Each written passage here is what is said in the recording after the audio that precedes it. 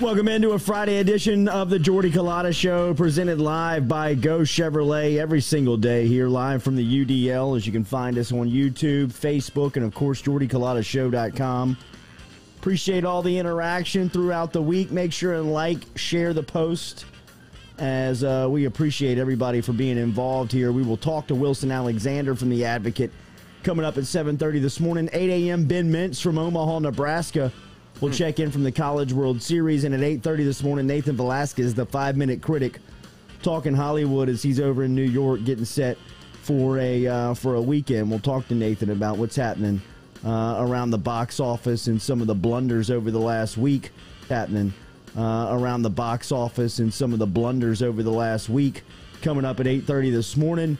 Jordy Culotta Show presented daily, as we tell you all the time, by Go Chevrolet. Remember, online you can find them at geauxchevrolet.com. Great new car inventory over in Laplace with a used car lot here in Baton Rouge on the corner of Sherwood Forest and Florida Boulevard. Anything that you shop online or in Laplace, you can find in Baton Rouge. So just get in touch with Go Chevrolet online at geauxchevrolet.com.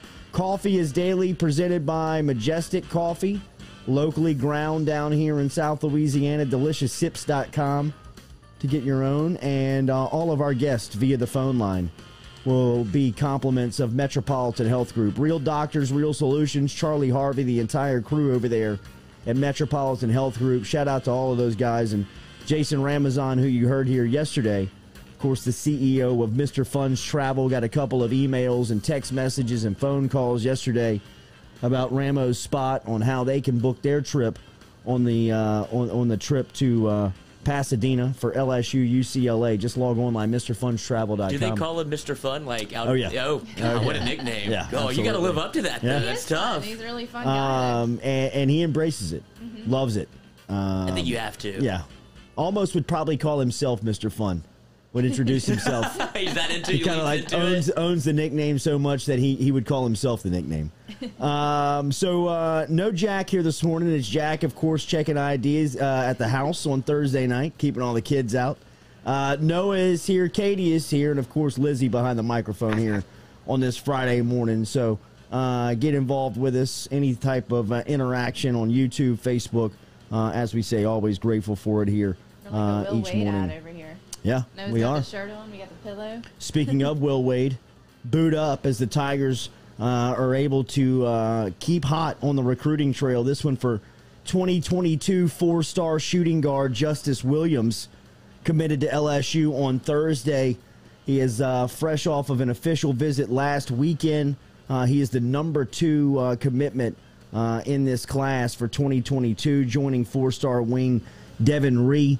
Uh, Where's he from? he is uh, from. Uh, check that out on uh, his exact whereabouts. Uh, but he was on uh, in uh, Go Two Four Seven talking about his uh, his trip.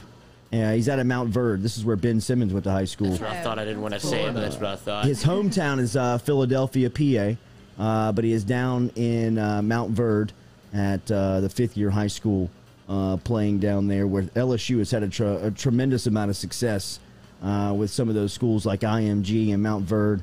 Uh, of course, with uh, Brandon Murray being a part of the class this season from IMG, and now seeing Justice Williams, who is ranked the number 33rd, uh, ranked the number 33 uh, player nationally next season and the the second rated shooting guard in the country. So Will Wade and the LSU Tigers stay hot on the recruiting trail as uh, they're able to pick up Justice Williams uh, yesterday, uh, a four star shooting guard out of Montverde Academy.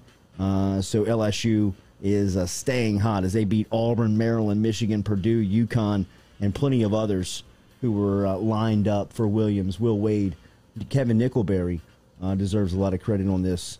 We're able to get get Justice Williams in. They have to be so frustrated with this, like the, the old blue bloods of the of the program. Elbow uh, LSU just keeps elbowing itself in for recruits because when you have to compete against schools that you know you necessarily never had to before, and they LSU just keeps popping up for these cats, and it has to be so frustrating. Uh, well, you saw it yesterday. Kirk Ferentz, who is uh, our- football coach earlier this pot week. shots. Earlier this week, Kirk Ferentz, who is uh, probably the most overrated and overpaid coach in college football. As as far as respect goes, I have never gotten the year in year out Kirk Ferentz love that college football shows this guy. I mean, what has this dude accomplished at Iowa for him to reserve or, or to to deserve uh, all of just the the respect he gets year in year out? Uh, and then he has the nerve earlier this week to make a comment uh, to the NCAA about the NCAA about some basketball coach down south. Uh, uh, the guy down there, he's still coaching, and the athletics director lost his job. I mean, what are we even doing? I don't know, Kirk. What are you doing up there running a program, hiring a racist as your weight training coach, man? if you want to play the game, we you can know play what the I mean? game. We can play this game all day long if you want to. I mean, you were the one that was hiding a racist on your staff. What did he do? I mean, his Racist his guy. his his his um, his strength and conditioning coordinator was. I mean, there there were reports uh, over the last couple of years, uh, close to uh, nearly a decade, of this guy creating a a work uh, you know a work environment that was very uncomfortable for for for players, and it was uh, centered around uh, a lot of racist communication uh, and and a lot of uh, degrading communication. And Kirk Ferentz knew about it. There's wow. no doubt he didn't know about it, and he was covering it up, or he was just trying to sweep it under the rug. So, Kirk, worry about your own house, bro. Well, and Kirk, uh, you might want to just lay low for a little bit because you got a great gig going over at Iowa. Nobody really, you know, nobody in the Iowa contingency wants to hire anybody else. But if you look at what you're doing, you're not that, you know, you're not that great. Yeah, man. I, mean, like- just lay low, collect the check. I, I- I don't. That's what I don't get. Like, I mean, you have been robbing the state of Iowa And and college football. It, it's unreal how, how much respect this guy gets for accomplishing nothing, zero, nothing. I mean, z- nothing. There has been nothing that Kirk Ferentz has accomplished to make you say, "Hey, man, he's one of the good college football coaches out there." I mean, he, does it every year. He's doing it right. You know what I mean? Uh, and, and for him to come out and make comments like he did earlier this week, I mean, Kirk, bro, the glass house you're making these comments out of. Just go ahead and get your place right. You're lucky to ca- you're lucky to have your job. How much do you think he makes a year? Uh, I would say four million bucks. Damn, four and a half. Been there since 1999. I mean, just robbing you. Blind. Now I he lives in your house. Yeah. He moved in into the attic, and you didn't know that he was there. then he just waltzed on there. Like I guess he can stay. I'm surprised he doesn't coach games on Saturday with a bandana over his face. I mean, just robbing Highway you in the open public. Pay me my salary. Buy the tickets. Go buy your concessions. Um, but Will Wade is continuing to piss off everybody in college sports except for the recruits as he continues to just reel them in. The number three, uh, number two shooting guard in the country for 2022, Justice Williams, after his latest visit to LSU, commits yesterday to the Tigers, becoming the second commitment for the class of 2022, joining Devin Ree uh, as a, uh, a future LSU Tiger. So shout out to Will Wade. We will talk to uh, Wilson Alexander about some of the LSU baseball storylines that continue uh, to be discussed and, and talked about down here in South Louisiana. Uh, and this coaching vacancy, this coaching search for LSU baseball continues uh, to uh, to stay moving as another day comes and goes down here in thing South. Louisiana with no announcement. Maybe Monday. Uh, it should be Monday. uh, it should be at some point uh, over the next week, uh, unless the candidate or or the the potential next coach is is Is busy. is season still alive, Still right? I mean that, that that he's got a conflict on the schedule that he can't yet announce that he's going to another job because the current job that he's in uh, is still playing. Um, so look, th- this thing is obviously uh, been a very much the the center of, of conversation for a lot of people down here in South Louisiana this week, whether you're talking heads like us barking into a microphone or whether you're just going to business lunches every day. People are wanting to know what is the next move going to be for LSU baseball. And I'll just say this as we've said all week long, I, I think that Scott Woodward has done a tremendous job, first and foremost, on the public relations of this thing. Yeah. Because anybody who's telling you that they really know really doesn't know because he has not allowed anybody in to, first off, there's no information that's leaking out, which I, I think we need to recognize is another accomplishment of Scott Woodward within his own department that he has figured out very quick on the job. I mean, how easy was it to find out information out of the LSU athletic building uh, just a couple of years ago and throughout Joe Alleva's Tenure. tenure. I mean, it was like a high school cafeteria. it was like the high school gym room. It was like the high school locker room. I mean, it was it was the center of the gossip column. Was the LSU athletic administration building, and, and there were there were more leaks than there were th- there were loyal employees in that building. And one of the first things that Scott Woodward has done is found the leak and made sure that the leak is no longer within the meetings that mean anything. Because I think anybody that's telling you, oh, my guy's telling me this, or my source is telling me this, is lying to you. Because we have connections, we have sources, we know people, but what I'm telling you is what they're telling me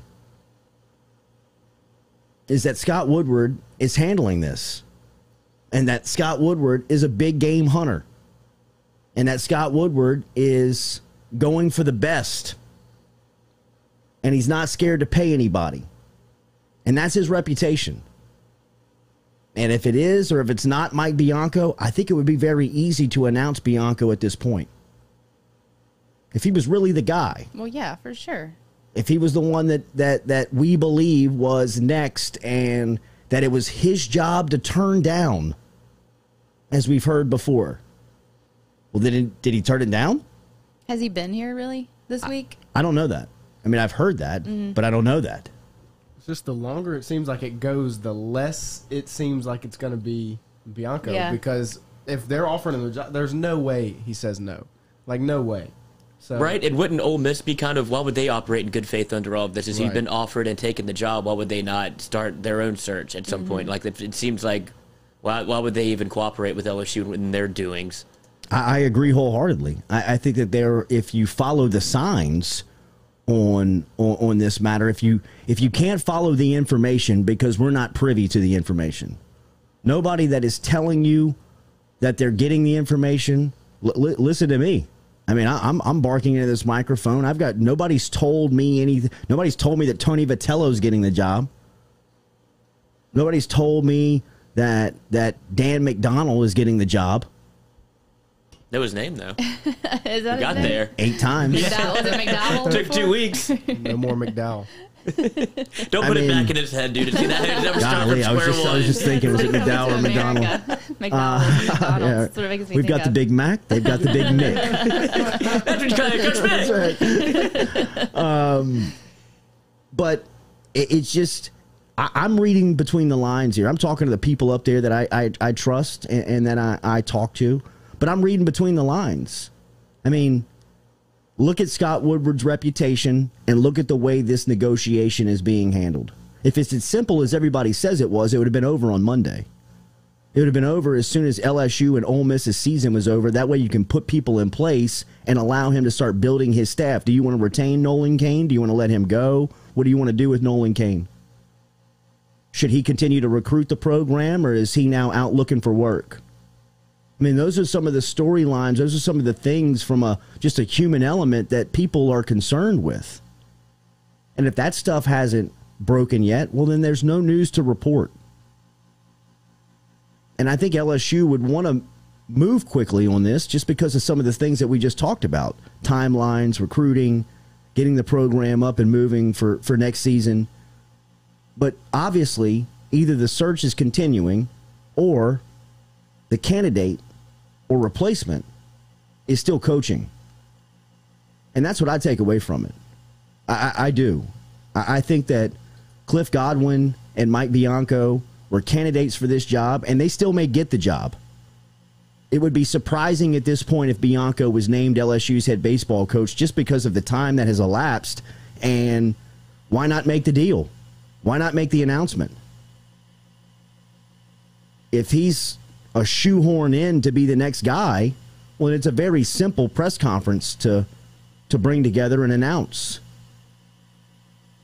Do you think there's a chance it could be no one that we've even mentioned yet? Possibly. Wouldn't that be something? I mean, I don't know who it could be. You know, I mean, I, I think that, that Corbin continues to gain some steam behind.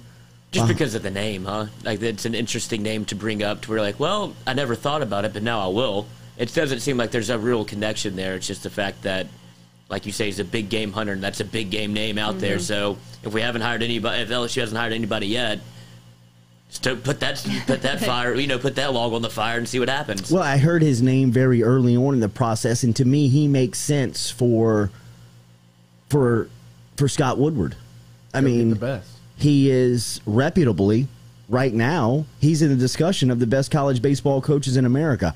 I would I would come back with if I was just trying to play devil's advocate within the room of of Woodward would just be the layout in which he's doing it at Product of his Vanderbilt. environment. Yeah, right. I mean, Vanderbilt is, um, while he deserves the credit of building the program into a championship contender year in, year out, uh, he has found a model that nobody else is playing by.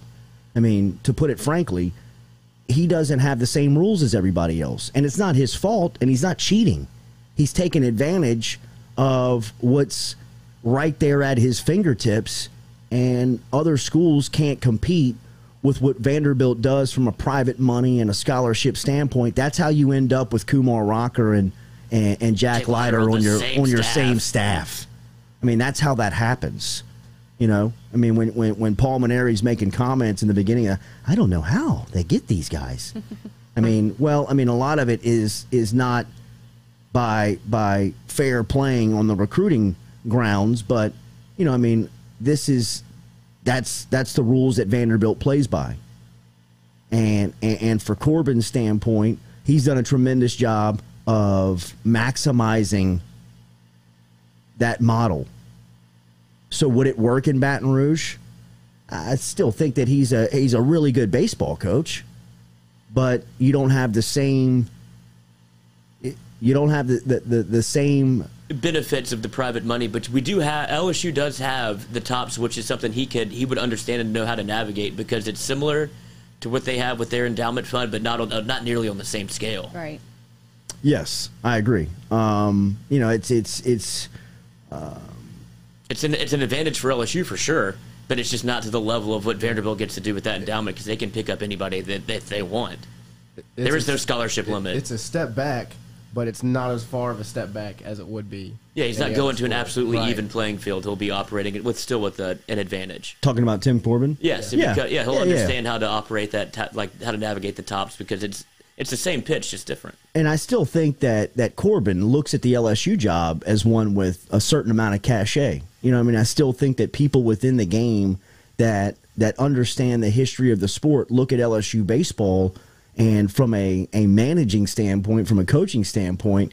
Um, a lot of people still look at as a destination job, as a place that you'd love to go experience. You'd love to get that type of support, that type of uh, fan enthusiasm, um, the excitement around the game. All of that stuff has to be attractive to college baseball coaches. So even somebody like Tim Corbin, who you know is playing in in a, in a model and under a frame that not necessarily everybody gets to play with, I still think he looks at LSU's opportunity as one that that is a great chance for a college baseball coach.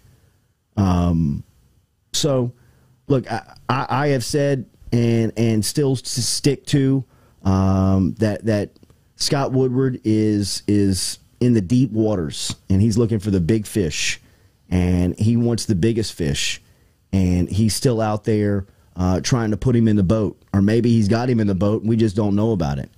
Um, but to me, if it was Mike Bianco, it would have been announced and and maybe they do it on a Friday. Maybe they do it on, on, on a news dump day where you're going into the, the college baseball World Series and you steal a couple of headlines going into the weekend. Um, doesn't seem like the style of Woodward. Doesn't seem like if it was Bianco, why you would wait this long to make the announcement. If it was done earlier this week, just call the press conference and announce who the next coach is. Um, is there any benefit to announcing during during the College World Series if it's not an absolute home run hire? Like if it's a Mike Bianco and that's clearly not what the LSU contingency has wanted, then if you announce it at during you know college baseball coverage is about to start tonight, Yeah. and then that would that would obviously lead the ticker in terms of like Yeah, I would. what you talk about in the booth during downtime, like oh, LSU baseball gets a new hire. They Right. bring in a former LSU catcher, and if that's not something that you really want out there in terms of public appeal, then I See, wouldn't dump that it in today. itself is not Scott Woodward. Right. He's not going to make a hire that he's not confident in making the announcement to mainstream news. Like it's not going to be that. It's not going to be Joe Alleva settling for Johnny Jones. It, it's it's it's never going to be that again, in my opinion. Just because of who he is and what his expectations are for his athletic department. And that's why Mike Bianco, while a fine guy and a fine coach, doesn't make sense in this role right now. At certain times, he did for LSU. And I still think if he's the guy, he can have success. I'm not saying that if Bianco's here, that he's going to be a loser. I, I still think that he can have success here, but for Wood, what Scott Woodward looks for and what his reputation has been garnered on, Bianco's not the guy. And Woodward takes so much pride in that reputation. It seems like, especially coming into LSU, where we've had obviously significant issues in our in our athletic department. This this wouldn't be his his move to make. It would be an absolute splash because he's trying to bring in everybody to LSU. He's trying to bring in ass kickers. Mm-hmm. I agree. And look, I I still think that Cliff Godwin is is possibly an option here. When you just look at his accolades, when you just look at his age, when you just look at what he's accomplished, and you know the guy that we talk about shows up to the ballpark with something to prove every single day, with you know just kind of a uh, uh, you know an fu type attitude. Um, you know he he he checks that. That was our pick, right, yesterday? No, I picked Godwin, and I thought about it yesterday, and I'm going back to Vitello just But we because I, Godwin I want him. yesterday. He yeah, was Vitello. You yeah. weren't here, Noah. Who would your pick be? Because Jack picked Vitello My pick would be Godwin, but I want, Want. it to be Vitello. Yeah. Like I want Vitello as the coach, but I feel like Godwin is like a s- kind of the same guy, not as in your face, Not as brash. but still going to do the same job. And so I think he's safer than Vitello. He brings similar things to the table Yeah. in terms of age and passion, but it's not so much, you know, It's not so much f like, you in your face. fingers are Yeah. out. Right. Do you, and uh, for Woodward, don't you think this this hire kind of symbolizes a changing of the guard under the LSU umbrella? Like this is what he's trying to do, come in and make a splash. And there's probably the LSU baseball hire is as close you can get to LSU football in terms of trying to make it's as big a deal to people as as any job in the country down here. I think Woodward would probably tell you privately, and I don't know this for certain, just because of, and I'm just guessing on this, and, and knowing him a little bit, knowing that he's from Baton Rouge, he went to LSU, he worked at LSU under Skip Bertman in the athletic department. While he was at LSU, he understood the Gravity. the, the the the royalty of what LSU baseball is, the the the the demand that it has on the fan base down here. I think this is Scott Woodward's biggest hire of his athletics director's career.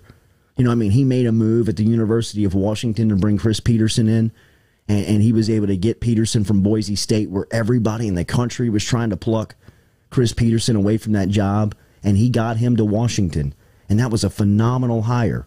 When he got to Texas A&M, he got Jimbo Fisher to Texas A&M. When he got to LSU, he made a move on a vacancy to get Kim Mulkey into a, a replacement situation for Nikki Fargas. Now he's got a coach that gave him a, a little bit of warning that he was retiring in the biggest seat and biggest opening that he's had to replace since he's been making these decisions, in my opinion, for him personally. For him personally. You know, I mean, I think a lot of people would look at the Texas A&M head football coaching job as something big to fill when you've got boosters saying, how much money do you need? It's And almost there- easier to and- do and- that. And there is there is no cap to what you tell us is enough. There's no such thing as too much money. Does he want $75 million guaranteed? Well, then let's give him $75 million guaranteed. I mean, while Scott Woodward deserves the credit of going to get Jimbo and bringing him to College Station, anybody in this room could have made that deal. We walked into the negotiation with an unlimited amount of funds. Jimbo, what is it going to take? I'd like 75 for a decade, guaranteed. Done. Here you go. You want to sign it? Can we get on the plane now? Uh, yeah, sure.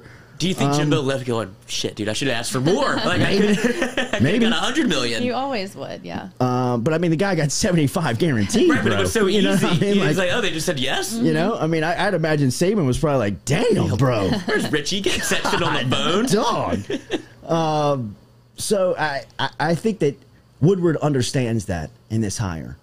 And while Mike Bianco makes a lot of sense for that mindset, he's still Scott Woodward.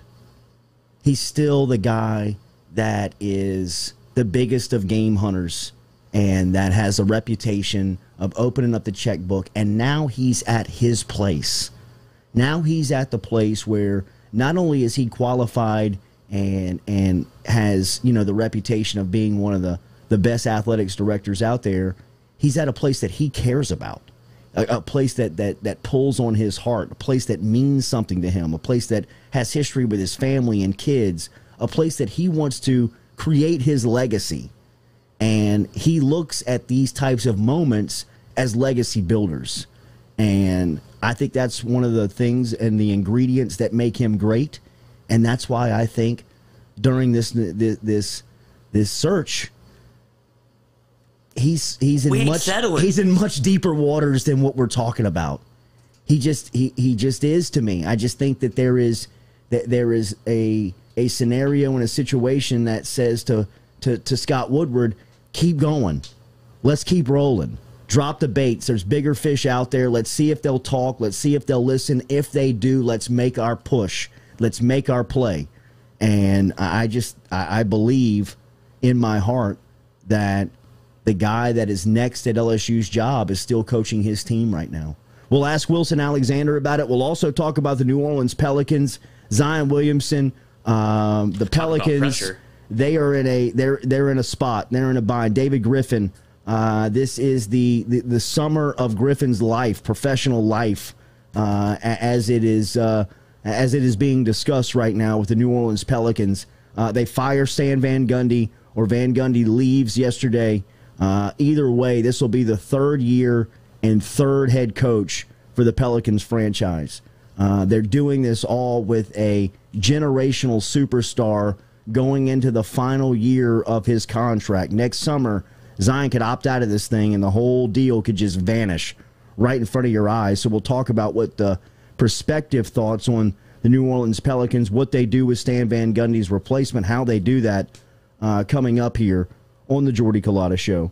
Uh, but daily, remember, we are brought to you by Go Chevrolet, G E A U X Chevrolet.com. Stop in and see Lee Carney, uh, Nick Richard, the entire crew. They've got a used car lot here in Baton Rouge off of Florida Boulevard and Sherwood Forest, and they're also uh, in Laplace, Louisiana, with a brand new car selection. Everything's online. They got social media. Go Chevrolet, G E A U X Chevrolet.com. We will talk to Wilson Alexander about LSU baseball next. Are you self employed? Then you need to learn about Angel Oak's Home Loans Bank Statement program that they're offering, which makes you eligible as a self employed borrower to purchase or refinance a home without requiring a tax return. If you want to learn more, get in touch with me. Email me, Jordy at JordyCulottashow.com to learn about the bank statement loan program offered by Angel Oak. Jordy at JordyCulottashow.com to learn more.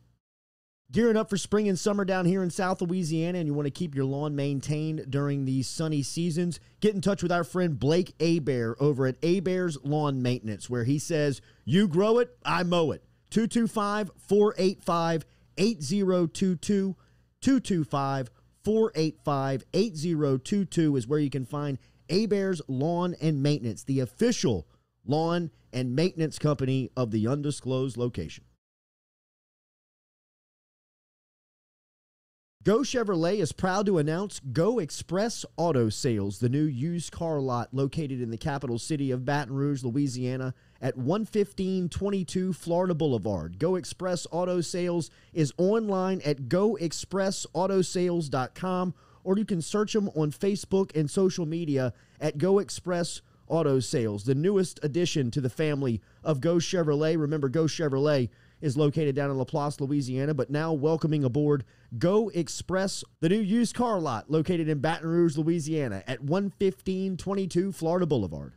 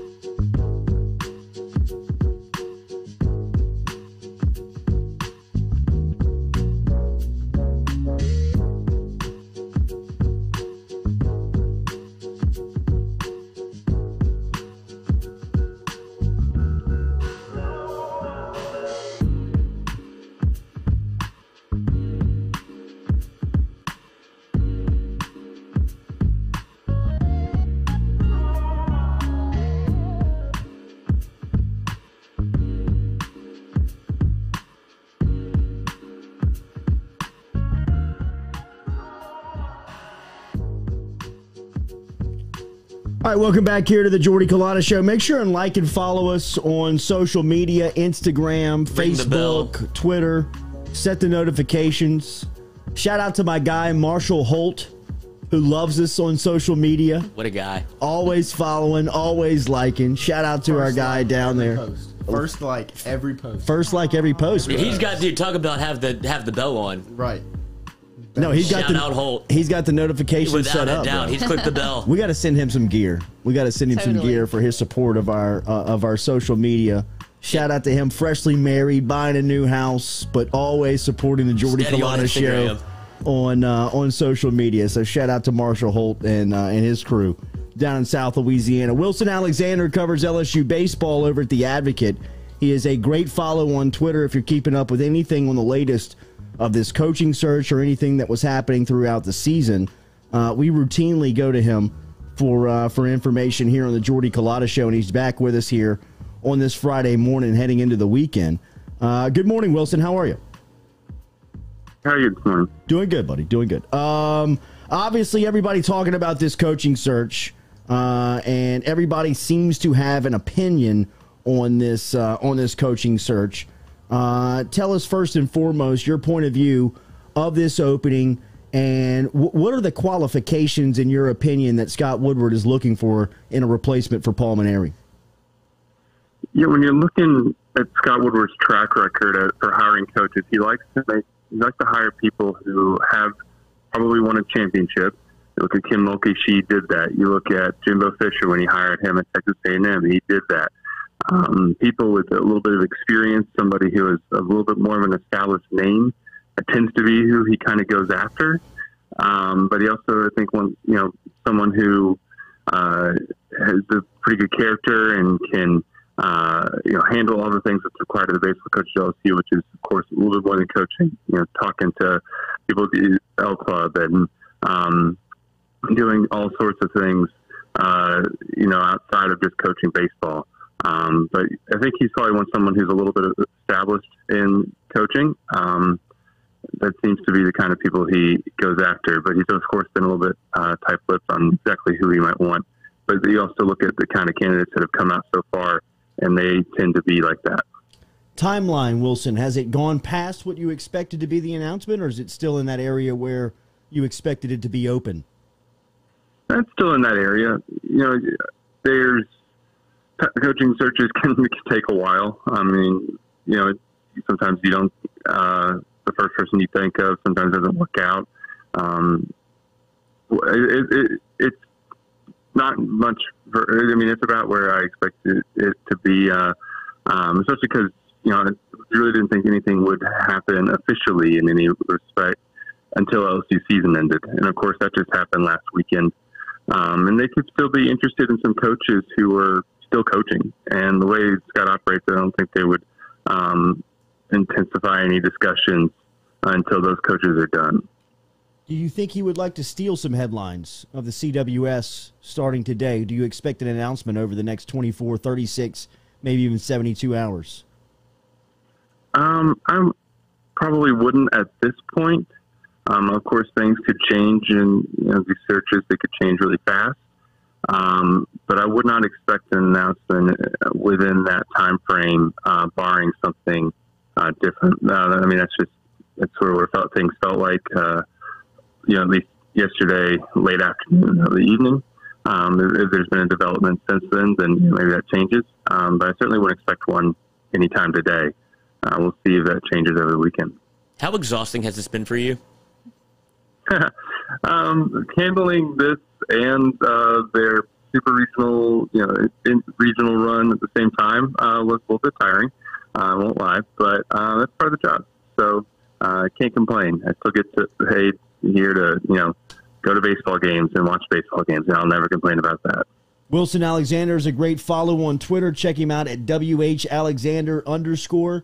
Uh, many people have this as a two horse race for this opening between Cliff Godwin and Mike Bianco. Do you sit uh, steady on those two names, or do you think that this is a, a, a, an interview process or a process that is reaching further than that?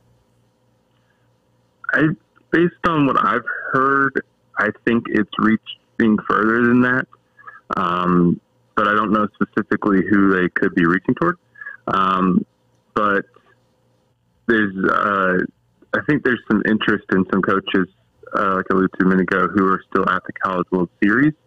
Um, clearly, they are accomplished coaches if they are, you know, fighting here for a championship. Um, and it sort of feels like one of those things. If they were going to hire Mike Bianco or Cliff Godwin, they might have already been able to do that sometime this week. And that is not to say that they won't end up hiring one of those two guys. They still very much could. But I think that they're, you know, they, they don't feel too rushed here. Um, they feel like they can take their time. This is a premier job opening in college baseball. Um, and not that they're going to be able to get just to whoever they want, but they can be feel like they can be a little bit patient because there's a lot of other schools out there that are probably waiting to see what else he does. Is one of those guys very good looking and come from an Italian heritage? uh, I would be surprised if it was that guy, um, but uh, they thought it seems he's maybe rubbed some people at LSU the wrong way. Yeah. Um, but then again, again, you know, these things they twist and they turn and they go in unexpected directions. So you can never truly count anybody out until there's somebody on the podium. Obviously, we're talking about Tony Vitello in that in that scenario, but there has been some some smoke around uh, Jeff Corbin and, and, and his potential of of maybe being a candidate here. Wilson, you know the college baseball game uh, more than we do. I, I don't know why anybody would leave Vanderbilt, right? I mean, just because of the setup that you have. Yeah, I would it would be pretty. Everything that you hear, it would be pretty shocking if Tim Corbin left. Um, not to say that Scott Woodward wouldn't try to go after him. I mean, he might. I, I really don't know. That that would be that's complete speculation at this point. But he, uh, to, that would be the kind of hire that I think Scott, the, the type of hire that we, you know we were talking about earlier. That I think Scott will have to make. I mean, he's won Tim Corbin's won two national championships. He's got Vanderbilt absolutely rolling. That's one of the best programs in the country. Uh, you know, top two or three uh, right now, certainly in the past decade.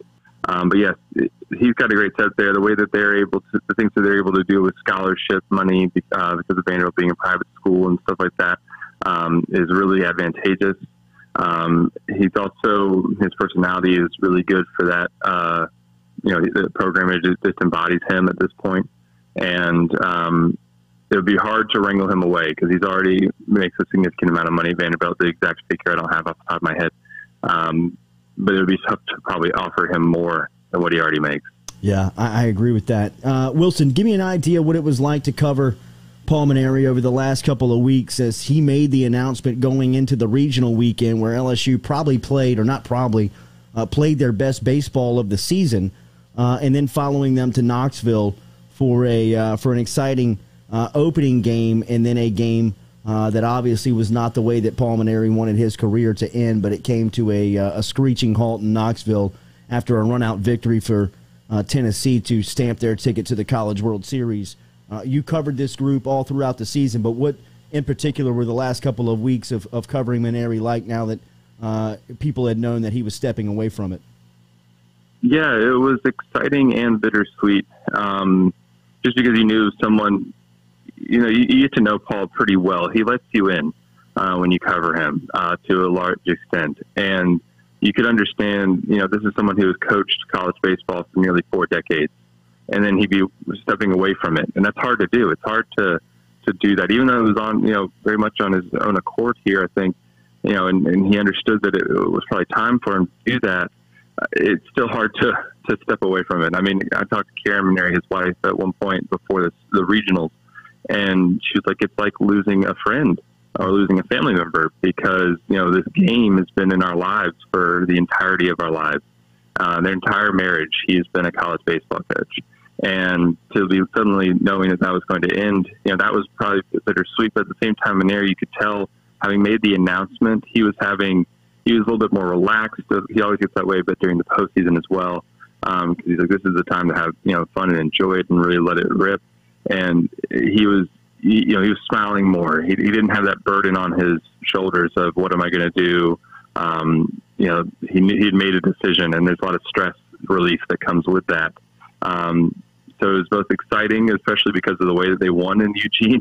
Um, that was some of the best baseball I'd watched all season, especially from them. And um, but at the same time, it, it was sad to you know see somebody go through the kind of emotions that he was going through You mentioned Tony Vitello, Tony Vitello rubbing some people at LSU the wrong way. Is there a specific instance of when he did it? Because he sidestepped a good bit of those questions going into the Super Regional, where he kind of took the took the higher ground. So, is there a, a more specific instance of when he rubbed the LSU brass the wrong way? Um, I don't know if, there, if there's one there that they really didn't like. I mean, you could just watching him, um, you know, at Tennessee, he he runs a little bit hot, um, but you know, and just that whole atmosphere uh, was really contentious. Um, you know, most of the weekend, um, things that the fans were saying that, of course, I guess Tony, you know, can't necessarily control, but um, just uh, you know, I think little th- things here and there, you could tell that they sort of maybe rolled their eyes a, a couple times um, and just. Uh, that, I'm not sure if there was one specific instance or anything like that um, that they weren't pleased with, but he just seemed to kind of not. Um, he doesn't jive with the old guard of what LSU thinks it yes, is. exactly. Yeah, uh, I think that's probably a good way of putting it. Landon Marceau was recognized as an All American earlier this week. Do you have any idea of what, what his future plans are? Not specifically. Uh, the expectation, you know, uh, Paul has sort of hinted at the, you know that he would be heading toward a professional uh, career, but Landon hasn't said anything official. Um, you look at him, I mean, he, he is a draft prospect this year. He's not a first round draft prospect because of his size. Um, and, you know, when prospects talk about projectability, they don't see that in Landon because, you know, you don't see him adding another five miles to his fastball or five miles an hour to his fastball or something like that. Um, but he's all still a, a second to third round uh, possible draft pick. And, and if, if you're in that range, it's, it's hard to pass that up, especially after your junior year. Um, he's done a lot at LSU and probably comp- probably proven as much as he can at this point. It'd be hard to come back and show more than what he did his junior year. He was just phenomenal all season. Um, I, I, would expect him to get drafted and signed, um, but you know if he doesn't get the right number, then maybe he comes back. He's he has a little bit more uh, ability to negotiate. You know, he's got a little bit more leverage. Um, being you know after coronavirus, you know having an extra year of eligibility still on the plate. He, you know he's not one of those. He, he's still like sort of technically a sophomore in like draft eyes, so um, he could, you know, with those two extra years of eligibility, he has that leverage here. But um, I, I, would expect him to sign uh, professionally, but um, you know, he hasn't said anything in uh, uh, officially yet at this point. Wilson, I know that this is usually the time of the year where summer assignments are being handed out for players and, and sending guys up to either the Cape Cod League or summer leagues around the country. Um, do you have any idea if that's happening? If so, who is who's overseeing that? Yeah, uh, Eddie Smith set up a lot of that uh, before he took the job at Utah Valley, and luckily this year things aren't shutting down as they're trying to set up summer leagues. So, I mean, last year it was crazy. He was having to switch people around like every single day. You know, a league would shut down, and he tried to be switching a guy to another league that was still open and had an opening they were able to be a little bit more solid with it this season. Um, and so that's that's a lot, kind of a lot of it's already in place. Um, LSU released a list of guys, where guys will be headed yesterday. Trey Morgan and Cade Beloso are up to the Cape. Uh, Dylan Crews is playing in the uh, South Florida Collegiate League. Um, they've got guys a little bit spread out, and a lot of them uh, playing in summer ball this year. Garrett Edwards is uh, pitching, which is a good sign after he had to leave that game with the forearm strain. Uh, at least he's assigned at this point um, pretty much uh, a lot of their guys are, are playing out in summer ball. Uh, do you have an expectation on a timeline here? I know I, I, may have asked you this earlier in the interview, just on the timeline, and if you were surprised that it gotten to this point, do you have an expectation of of when it can be filled? I really don't. Um, you know, I would, I would expect it to, uh, other than before the major league draft. They definitely need right. to get somebody before that because of how much the, that event in particular shapes rosters every year. Um, they need somebody in here, and I know that there's you know parents and the players are a little bit antsy right now too. I mean, they would like to know who their coach is going to be, um, and they would love to see it before that July 1st deadline of when players are supposed to notify their schools that they're going to the transfer portal or not. Um, but at the same time, LSU realizes you know this is a long term hire, and so they're kind of taking their time with it. Um, and so I would expect it to happen within the next few weeks um, at the very latest. Um, but you know, things can always you know sort of happen quickly before then. So I don't have a, a exact range other than probably within the next you know two weeks, and that's probably giving it a little bit more time than it actually will take. But you just never know. It depends on who's still coaching and who they're really going after, and all those sorts of things. Wilson Alexander, make sure and follow him on uh, on Twitter at wh alexander underscore as uh, you can keep up with the latest on this LSU baseball coaching search, uh, the announcement time, and everything that is around these uh, the LSU baseball coverage. Wilson does a fantastic job over the Advocate, and uh, he checks in with us routinely here on the Jordy Culotta Show, which we appreciate very much. Thank you, Wilson. Have a great weekend, man. You too, Jordy. I appreciate it. You got it, man. there is uh, Wilson Alexander checking in this morning from the Advocate, uh, talking a little bit about uh, that coaching search uh, and where it could uh, where it could it could venture. Uh, Got as Dave Aranda vibes from him. Dave, yeah, he's got a little Dave Aranda. Very vibe. I think he's that's what I said. I think he's exhausted. Yeah. Like he just has to be because he's probably getting like constant texts. He's like, I don't know what to believe Yeah. anymore, but I have to report on something. I'll take one of these and run with it. If I get if I get hammered against the wall, oh well. Like you just have to. That's part of your job as a Yeah. journalist. You don't know who to trust, but it sounds like it's been a twenty four seven deal. Yeah. Well, I mean, covering Scott Woodward's athletic department compared to what the former athletic department was. Yeah, was. people are where- doing your job for you. all you had to do is just wake up and get get the news handed to Yeah, you. no shit. All right. All right, sweet. Looks like they're going to go with Bianco on a Tuesday. Um, Let me put this yeah, in the guess I newspaper. can go ahead and tweet this out. Um, it, it's just, I, I, I, it's that's probably what it's like to be a real life journalist. You know what I mean? It's times just have changed. You have to Constantly go, chasing and looking and looking for for sources and trying to figure out who is is is valid and who is not. And um, you know, I think that's that is probably a little bit of the sentiment there from uh, from Wilson Alexander. Remember, Edward Jones brings you the Jordy Culotta Show here daily over at Edward Jones. Daniel Newman is our guy. Uh, Newman going to be fired up about this LSU basketball team as uh, LSU was able to uh, to get Justice Williams committed uh, last night uh, to uh, the class of 2022, but. Uh, all of the guys that they have on campus right now. Daniel Newman is a, a hoop head. Uh, he will talk a ton of basketball with you, but he can also set you up uh, with great finance, great financial uh, decision making. Uh, as uh, he has got a great reputation over there of pointing people in the right direction, whether you work uh, at uh, Dow, whether you work at BASF, uh, any of the chemical plants out there, and you've got questions about your finances around your 401k, investment, Social Security. Uh, Daniel Newman is an expert in that field. Find out for yourself this morning. Daniel.Newman at edwardjones.com. He's in central Louisiana, located right across from Stab's Seafood or Stab's Restaurant out there in Central. Uh, stop in and see Daniel Newman uh, with a little slight fist pump there from Noah, the uh, the Central native, uh, on the Central shout out. Uh, They get a lot of news over there. Daniel.Newman at edwardjones.com. Daniel.Newman at edwardjones.com. Get in touch with him. We will close out hour number one when we get back here on the Jordy Culotta Show, which is presented daily by Go Chevrolet.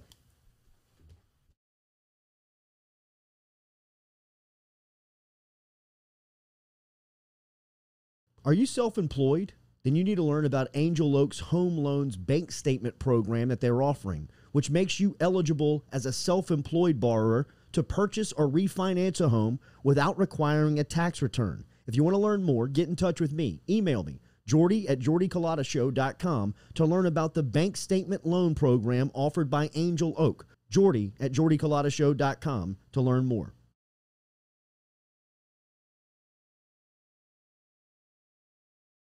Gearing up for spring and summer down here in South Louisiana, and you want to keep your lawn maintained during these sunny seasons, get in touch with our friend Blake Abear over at Abear's Lawn Maintenance, where he says, You grow it, I mow it. 225 485 8022.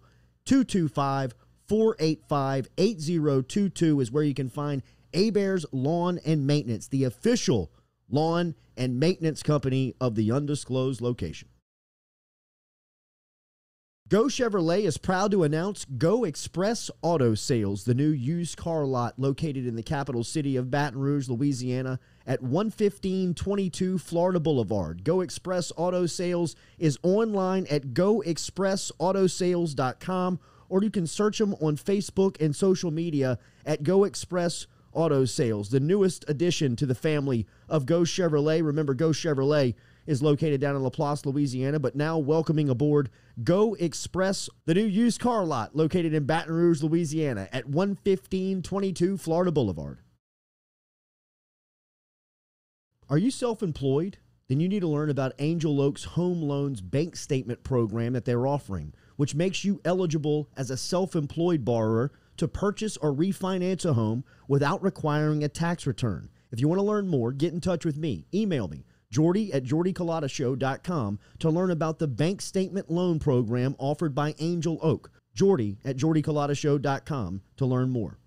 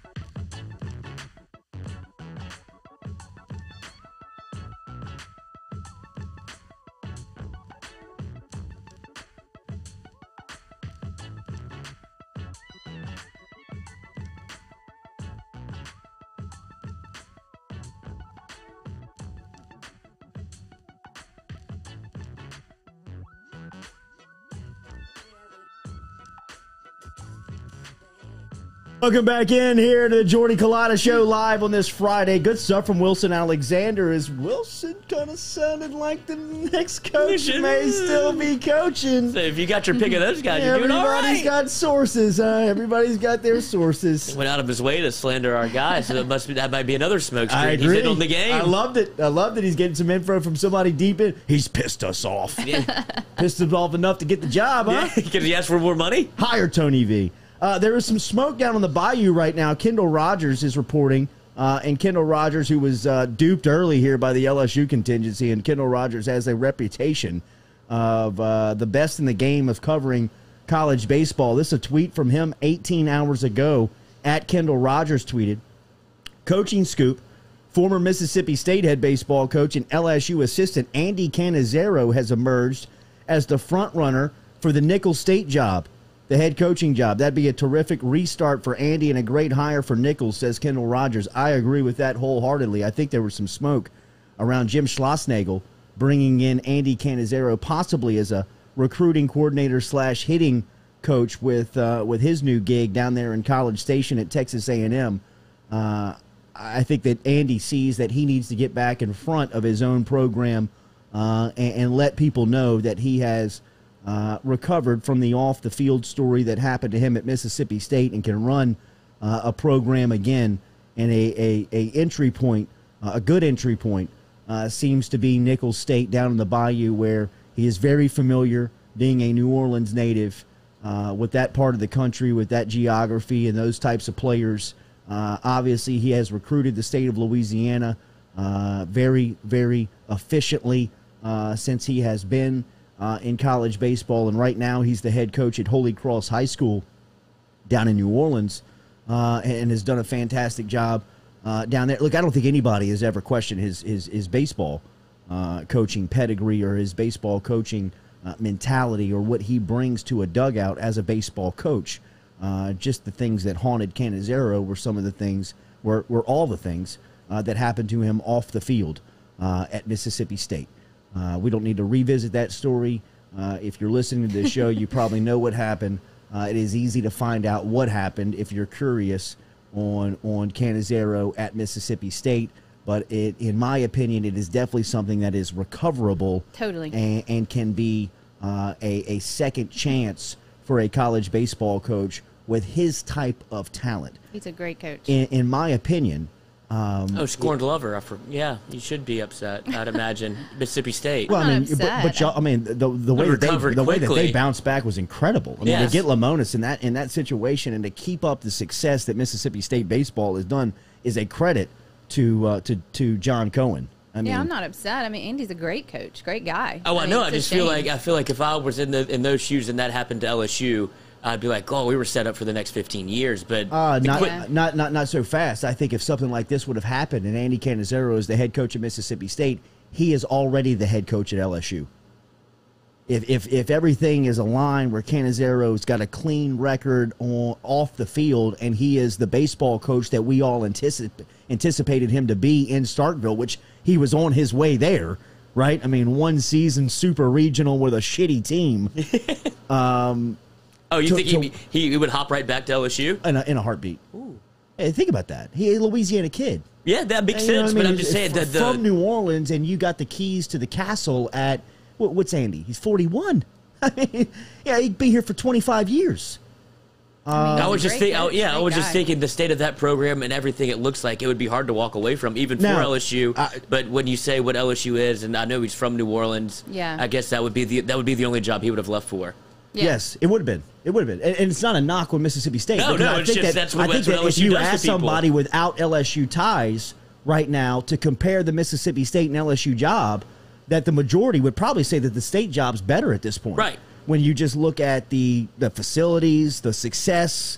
The energy um, around the Yeah, program. I mean, look, Right that- now. Mississippi State is coming into LSU and, and getting Louisiana kids. Yeah. Right now. Now. Yeah, I mean, like it's it's, it's happening right now. So I mean, um, And Andy could have done more of that. Oh, he would have done. He would- he, he would he- clean he- he- city, would have- he would have- he would have out. set up shop. Yeah. he would have set up shop. Um, It's silly. It, it, well, you know, it is, it is. But I mean, when Everybody has off the field drama. But when you get to that level, you got to be able to I manage know, that stuff. but it wasn't that big a deal. I mean, It, it eh, was my opinion. If you're texting Might in the not be the dugout and popular still one. winning, I think you I can do it. That I think people's that's fine. He problem. does. There's I like, mean, he's doing it in the baseball. dugout. Baseball is a slow game. You I have love- plenty You of got time. plenty of time to text I, girls. I, lo- I love Andy Cannizaro. He's a good friend of mine. Um, you can't do that. Oh, he knows that. But I'm just saying, yeah, yeah. you know what I mean? Like you, you, you, you can't do that. You can't. That that's that's you can't do insubordination. that and get caught. That's insubordination. Um, yeah. I mean, you know, if if you're you're thinking about who you're going to change the pitcher with, and you're texting your your girl, that just it ain't gonna work. He's I mean, not good of a coach. I mean, it ain't gonna work. That's, exactly. that's what I'm saying. He's exactly. multitasking. Exactly. I mean, you cut the you cut the BS, Right? And if you got nobody knew that, it would have been totally fine. He was doing a He good was enough doing a job great to where you couldn't tell unless he got caught. Like you would, there was no decisions where you're like, oh, he was probably texting in the dugout. That's why Right. he didn't change him in the I fifth inning. It's I know. Mississippi. That doesn't fly there. I know. You got to be straight in Oh, there. if he did it at Um, LSU, he would have never left the state. He'd be in prison. yeah. No, no, no, no, that that that gets him wherever he's at if he gets caught. I mean, that, that's not a Mississippi State thing. That's not an LSU thing. That's a. It doesn't matter. It, if he's If you did it at high if he school. was doing it at Holy Cross, he'd be in. he- He'd be in trouble. Um, but saying all that, he's learned his lesson. Yeah. That'll Yeah, never happen sure. to him again. And when you get past that stuff, he is a phenomenal baseball coach. Yeah. And he is a guy that can impact your team uh, both from a recruiting, hitting, mentality standpoint overnight. And a good like guy. if they hire, yes, he is very much a good guy. If they hire him at Nicholls, um, watch overnight. I mean, they will become relevant because of just the mentality that he brings in. Are they not a good team? Uh, I Right don't now? know. Well, I don't know. Well, I mean, if they're making a coaching move, they Yeah. usually I think you. they would have done anything. I think it could have been anybody. And if, if Andy Cannizaro's name comes up and he's interested in the job, you would make the switch regardless. LSU would have switched out Paul Mainieri. You know, Yeah. I mean, at, at some point they would have been entertained the idea. So Nicholls definitely would do it. I can't. I don't want to bring this up again, but you not have like a GA that you could like run the phone with, like Yes. send him, give him ideas of Absolutely. what to text, like say it out loud, No, no, that- that- it was speech to text. at the at the baseline of it, and again, a was friend, lazy on a his friend, end. a friend of mine, dumb, Yes. Yeah. very stupid. Yeah.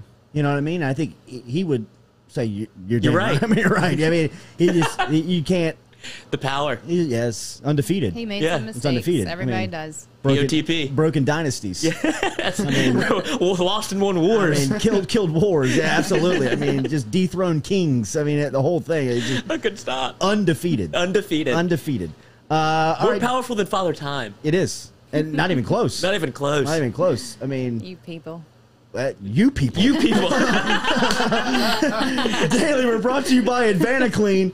Remember online at advantaclean.com. Get in touch with Bradley Lynch and his crew over at Advanta Clean. Fire, water, or mold damage. We made the call during the flood, and he helped us out tremendously. Uh, this is a first-hand, tes- uh, first-hand testimony. Speaking on Advanta Clean, get in touch with Bradley Lynch. Very easy to do online. Advanta Clean, A-D-V-A-N-T-A, clean.com, uh, and find out how they can help you today. Uh, let us go up to uh, Omaha, Nebraska, and link up with uh, Barstool's own Ben Mintz, who has uh, brought back the uh, uh, the Grow the flavor game. for uh, for college baseball. I love He's the having a good video last week with him in Portnoy. uh, if you want to bring that up, of uh, Portnoy betting everybody. Good that- hey, buddy, how are you? Good morning. Um, we were just talking about the video with you in Portnoy last week inside the Barstool uh, offices when uh, he corners you uh, on your way in after taking all of the bets that you recommended and him losing what essentially looked like uh, the entire Barstool fortune. Uh, how have uh, how have you recovered from that? Oh, it was. I mean, you just you gotta have thick skin to work for Barstool Sports. You know, I mean, I knew what I was getting into, and I kind of look at it like uh, I I think it was. I mean, I think I, I think I took it as well. You Yeah, did, buddy. know?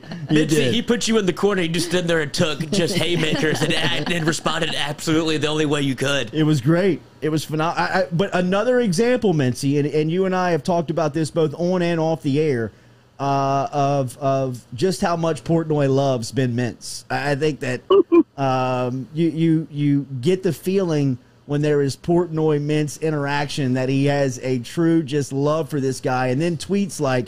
I, I hate myself for liking Ben Mintz coming from Dave Portnoy. I wish just- I was Ben Mintz. just screams how much he loves the guy. Uh, you wake up and talk to us this morning from Omaha, Nebraska. It's your first time there. Uh, I can imagine that you were getting ready for what i- expected to be a tremendous weekend.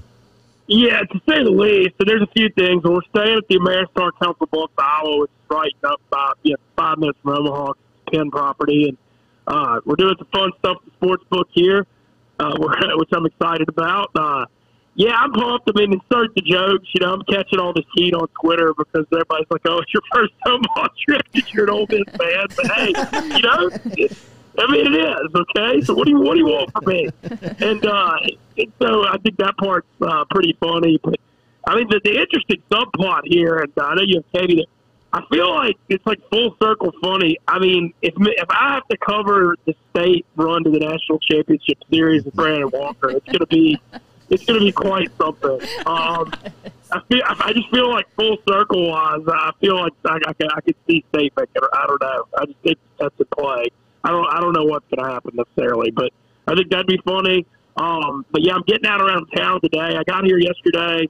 Uh, but getting out around town, checking out uh, just the scene around town. I've never done it. You know, I do some videos and clips, and uh, and then the games uh, start tomorrow, and we're doing Pick Central from DJ's dugout, the bar the stadium from 11 to noon, Monday through Friday. And what was cool was last week, you know, we had a few of us going to Omaha, but it wasn't, you know, it was a trip we were doing, but it wasn't pushed hard. And then like couple days ago, it became a huge priority at Barstool. And, you know, now, you know, we've got a big crew coming out here, and uh, we, we, we're doing really well with the shirts, and then I think you know Dave's just killing me about the, the picks last week, and rightfully so. And I want to mention too, this uh, I said this to Jordy before, uh, just doing I've done picks you know around Baton Rouge on on air and stuff for a few years, and I think I learned how to take heat from the Baton Rouge crew, and I think it prepared me properly for Barstool. Because the LSU fans, when you lose, they're gonna let you know it, and rightfully so. I think all that kind of prepared me for this. Would we is good. would we have a, a three year run on our morning show with the with, with Oh, the yeah, yeah. We had a great 17, 18, 19, and 20. I started, I think it was four. Started 17. Um, Um, is is Brandon Walker in Omaha? Oh, Brandon Walker, Uh, dude, he's so coming they're for your coming shine. uh, the Walker stuff's hilarious. It's though. so I mean, like Only he's so funny. wormhole with that. Yeah, he's he's so tongue in cheek with it though, 'cause he's obviously not been a big college baseball guy. So I mean, like you know, it, it's funny. I couldn't believe Peter Burns, by the way, who I know y'all know. He said, "Thank you, P. Walk, for growing the game. You know, it's been a long time for Barstool to do this." I was like, "This guy's got is this guy joking?" No, he, he had to be trolling you. had to be. He had to be I- trolling you.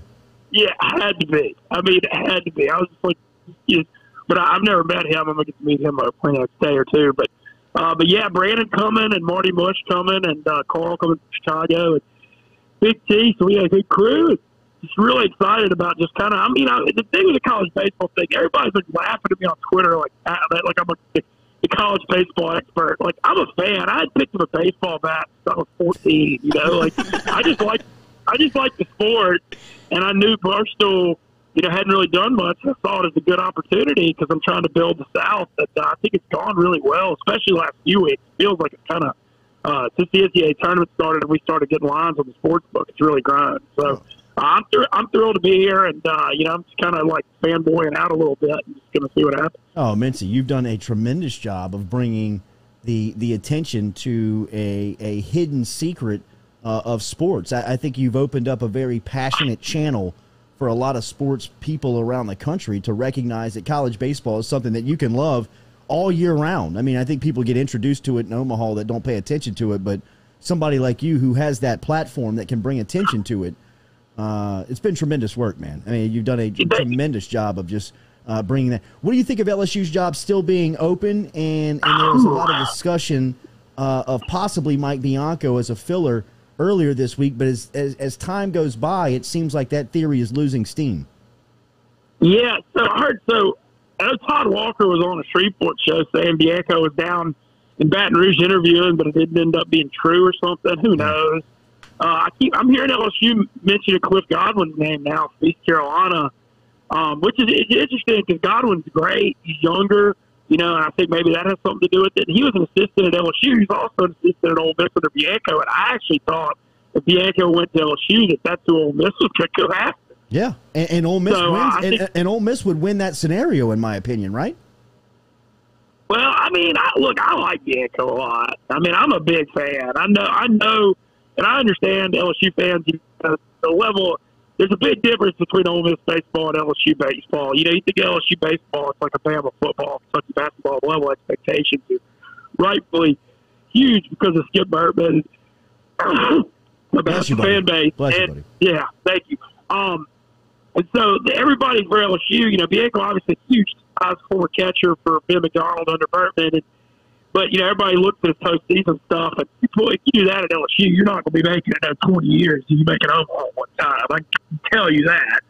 Uh, but I think you do well in Baton Rouge. I think it's easier to win at LSU with the tradition. Also, you know, some of the rules with LSU, and I don't know what, I hadn't followed everything with Tops anymore, but I know LSU and the Louisiana schools always had a big baseball advantage because they could use their scholarships, the out of state guys, and use like top stuff to help with in state. And uh, Mississippi can't do that. So I think Bianco would be good in Baton Rouge. I think he knows the program. I think he recruits well. I think he's solid. Uh, but Cliff Godwin's, you know, he's up to six in super regional in East Carolina, but he, he's, uh, you know, he's the best program in the American Athletic Conference year after year. He's consistent. Uh, I think he's really good. He's younger, and I know that that might make him the track. I, I mean, I feel like both of them. Barrett's Barley Corner. Mintz, go hit it up in Omaha, Nebraska. It is a uh, it is- Okay. it is the home for LSU. When LSU fans are there, it's decorated in purple and gold. Uh, Barrett, who is the uh, the bar owner, uh, says he makes his year uh, when LSU is up for the two weeks during the uh, the College World Series. So it's always a bummer for him when uh, when South Louisiana does not make the trip up. Make sure and stop into Barrett's Barley Corner up in Omaha Okay. and uh, and tell them hello. Get yourself a good uh, good good steak. They got great steakhouses all over Omaha. It is a Oh, yeah. fantastic trip, man. So I, I can tell you, man. I've been three times, and uh, all three times I've been twice when LSU has won. I've been once when they, they got knocked out in the quarters, and uh, every single time uh, it is a phenomenal, phenomenal trip. So enjoy it, bro. You've done great work for college baseball, man. Yeah, I I feel like I get the, the reward now. I mean, I've been getting it's so. Like people are seeing me catch heat, like keep your head up, man. You doing it. And I Fine. yeah. Golly, do you have them fooled, bro? Because you ain't worried about shit right now, man. Enjoy it, Mincy. Love you, man. See you. All right, take over. There is uh, Ben Mintz. Just on the way out. There's uh, Ben Mintz checking in from Omaha this morning. Uh, anybody been to Omaha in this room? Nobody? Nobody? I Nobody? haven't. I didn't know You're not? you'd been that many times. I've been. I went in uh, '93 when they won it. Uh, me and my grandfather. First time I ever flew in a plane uh, was uh, was to Omaha, Nebraska. Um, then we went back in uh, in '97, uh, and then we were there in '98 when Doug Thompson uh, and that great team when they were hitting all the home runs, and then the wind changed on them, and they couldn't hit the ball out of the park, and they they'd have won it that year. They were the best cool team. you were there for that. They were the best team there. Uh, and Dougie had trouble fielding a bunt off the mound against USC, I believe. Uh, and that ended up being the, the, the, the deciding game of that 98 team. But it is always it's very relaxed. I remember my grandfather telling me after we left that game, LSU's going to win tomorrow. They're going to win. Their best players playing pinball. yeah, Yeah, not right. worried about shit. um, eh, but just always the now I have not had any experience with the new Rosenblatt with the TD Ameritrade Park. Uh, my my experiences were, was always at the old Omaha Stadium at Rosenblatt Stadium, which uh, is very much like a a little league ballpark in the sense of it just it's very uh, comfortable. It felt like the old box. It's the new box compared to the old box. I was about to ask you if that's the, the, the proper comparison to I, I make, would, but I it would seems think like I have yeah. not been to the new box, but I mean to the new TD Ameritrade Park in Omaha. But a lot of people have who have made that trip. Jimmy Ott, Charles Hanagriff, guys that were going year in year out, who really have a uh, a love uh, for Omaha. I mean, we used to go watch when we would go in '93 uh, and during those '98, we would go to Ott's radio show at Barrett's Barley Corner. Barrett's would house Jimmy Ott for his his uh, the press box show uh, each afternoon, and we would go to Barrett's uh, as an LSU fan, and it would be nothing but purple and gold. You felt like you were in New Orleans. You felt like you were in the French Quarter uh, because of just how many Louisiana flavored people uh, were in there. Uh, and we all know the setting when we all get together, it ain't nothing but a good time. Right, I feel You like there's a I very mean? good reason it was in the afternoon. I mean, like the guy Barrett. I mean, Barrett of Barrett's Barley Corner had. I mean, he would come on Ott's show, or he would tell people that were there. Um, I mean, he's the biggest LSU fan in the world because when they get there, he makes his entire year. I mean, kick it's Christmas. kick back. Yeah, I mean, it's Christmas. I mean, for two weeks, he's just.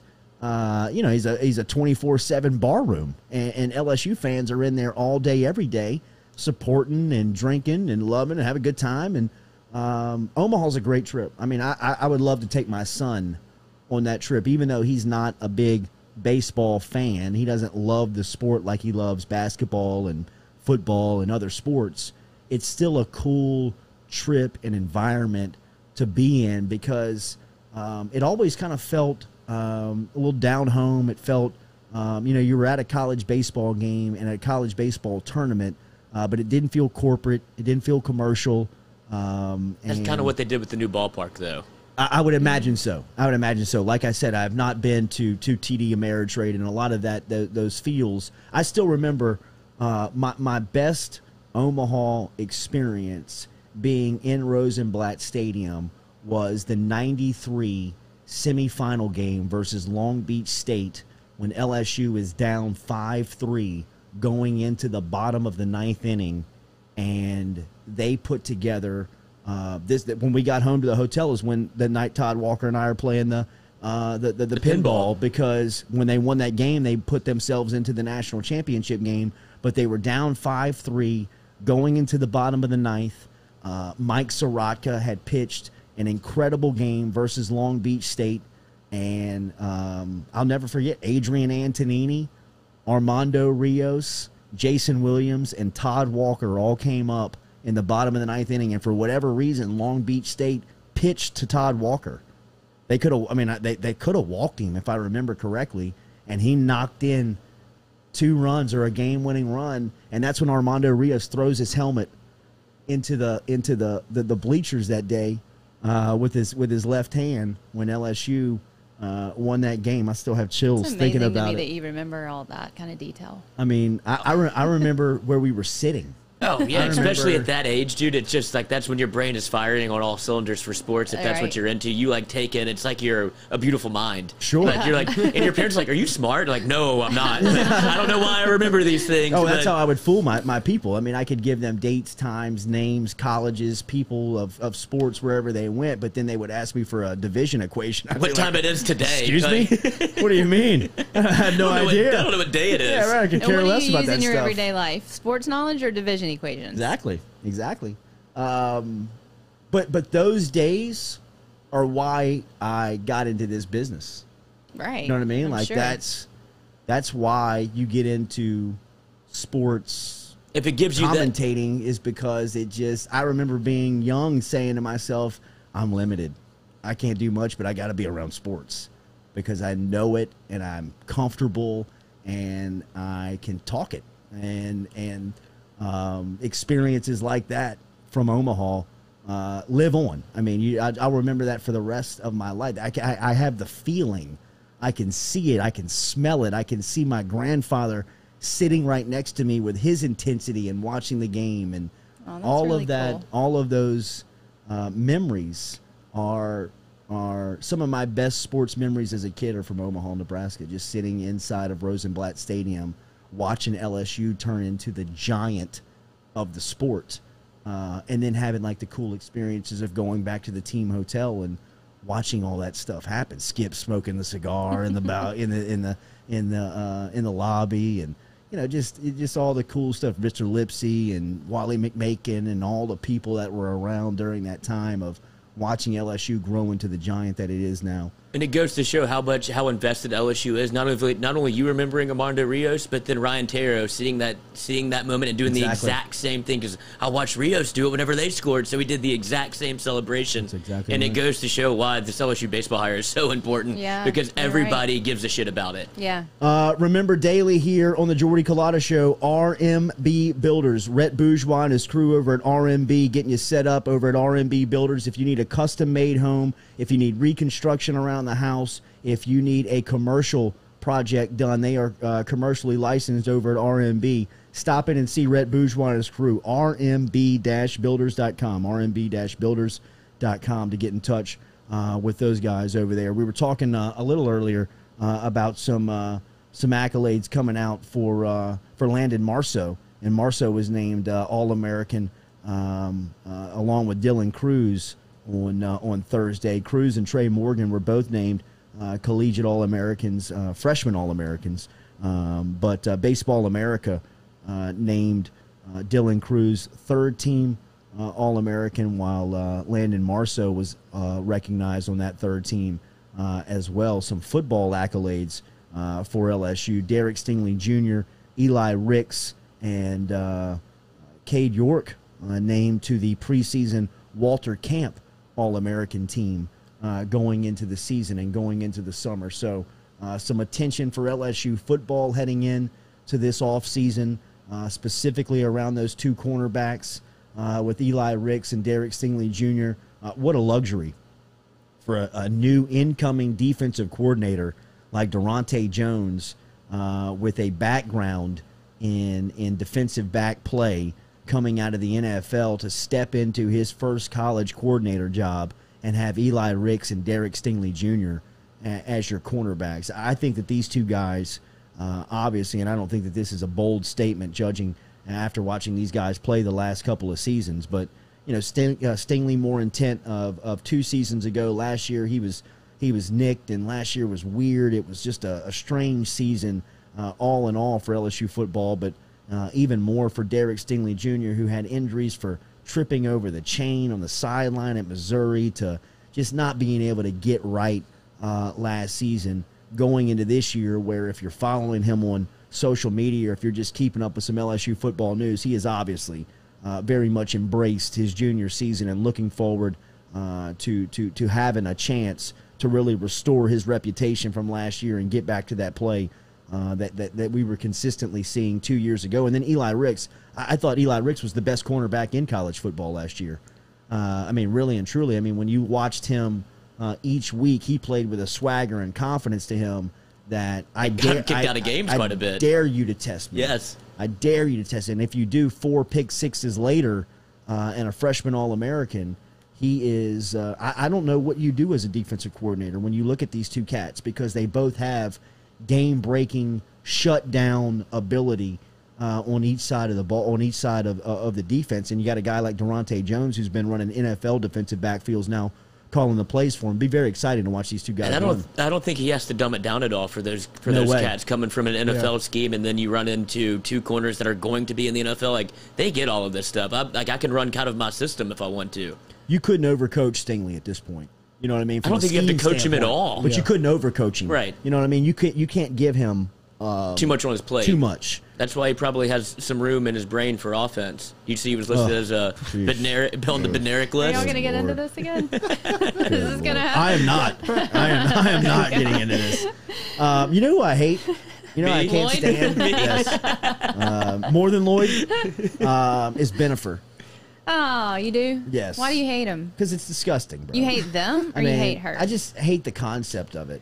Uh, I mean, we talk about high school bullshit a lot, and I that's what this like- is. They're back in love. says they're inseparable now, and knows it was meant to be. this is ridiculous, bro. I mean, But I mean, can she be alone for a minute? No, clearly not. Has This- she been alone for the last 25 years? Has she Not that I know Has of. she She's had a window of someone. time where she's not in love, sucking face on some picture in some paparazzi with Man, somebody? you're mad about her. You're It's- mad about well, it's her. an indictment on her character a little bit. It's mean, like, you just- can you not take a beat? How much attention do you need? it pisses me off for her kids. I know, and especially More because than anything. well, and she said that her kids are like smitten with Ben. How does she know? She didn't even talk to him.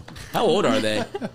I don't know. I mean, I think they're oh, 13 year old twins. And but I think there's another one too, right? Or does she only have 13? well, I'm sure that I'm sure she's I got think plenty she's- gallivanting around Seriously, the fact she's only got two is a Well, great she would testament. know for- that. It's not like a man. Well, just who's we like, I don't know how many kids I might have. Jesus. I mean, she Well, would have she's- to birth them. She's been in There was that one back in They tell her She 97. didn't know Yeah. how many kids she has. The one that got away. The one, yeah, the, I left one on on the block, on Well, Jenny on the block. I left going Affleck over there. the one that got away, according to her. I mean, Oh, sure. she says that that was the one that got away. I mean, she was upset when they broke up, and now they're back. I mean, who knows? This could be it for her. We- maybe this is. Maybe he's the one. Ah, Katie. Lord. Girls will always believe in Are you love. kidding me? Yeah, why not? You I gotta mean, believe in yeah, love. Yeah, why not? I mean, if you want to just throw a hail mary at her and see if this one sticks, but I mean, look at her track record. I know it, You know it's what I mean? not a good look. As that soon it's as been like he, a month as and soon a half. as he asks her to marry her or take that next step, she's going to be thinking of her exit strategy. I mean, That's They her go-to move. she's they could already she's be not back committing. engaged again. She's not. co- No way. I think she's just a ring collector. No she just way. wants If how she many of these engagement rings. rings she can if they get. were if they Tom were Brady. engaged, it'd be on the cover of People magazine. right. She has got some She's the. Tom Brady of entertainment. yes. She is. she is. But dude, we were we were on. Uh, I think at the beginning of this, we kind of felt bad for A Rod, but Yeah. now I think Yeah, he's kind of no, living his A-Rod best life. it. Yeah, he's uh, he's smoking cigars with the David Ortiz in his backyard. He's playing basketball. Wearing he- makeup. yeah, um, Yeah. he's of course. But I mean, I think the man's happier now. I think he got like he took a step away. It was like Jesus Christ, I was Wow. going through a lot. Is that what my I was Lord. dealing with? She But I completely mean, hoodwinked what me. is it Wow. like for him a month and a half after calling off your engagement and watching her like making out with Ben Affleck Well, for the all first, over town? the, The, first, kids, the first two weeks, it's got to be grueling. The it's hurt- got the be kids have to be the hurtful just part for him. smashing, s- just stomping on the heart. But then, I mean, you've got that, you've got that moment, right, where like the light clicks and you're like, wait, wait, wait, wait. wait. Post I mean- nut clarity. Okay, yes. what did I just do? True. But it, ha- it, it seems a little insensitive for her because they were a family, his kids and her kids, and the two of them, and then just ended a month and a half ago. Bro, you she's break the up that fakest family person in dynamic. Hollywood. But for her kids, I mean, like that's that's tough. I feel like it's tough on the kids. that's what I mean.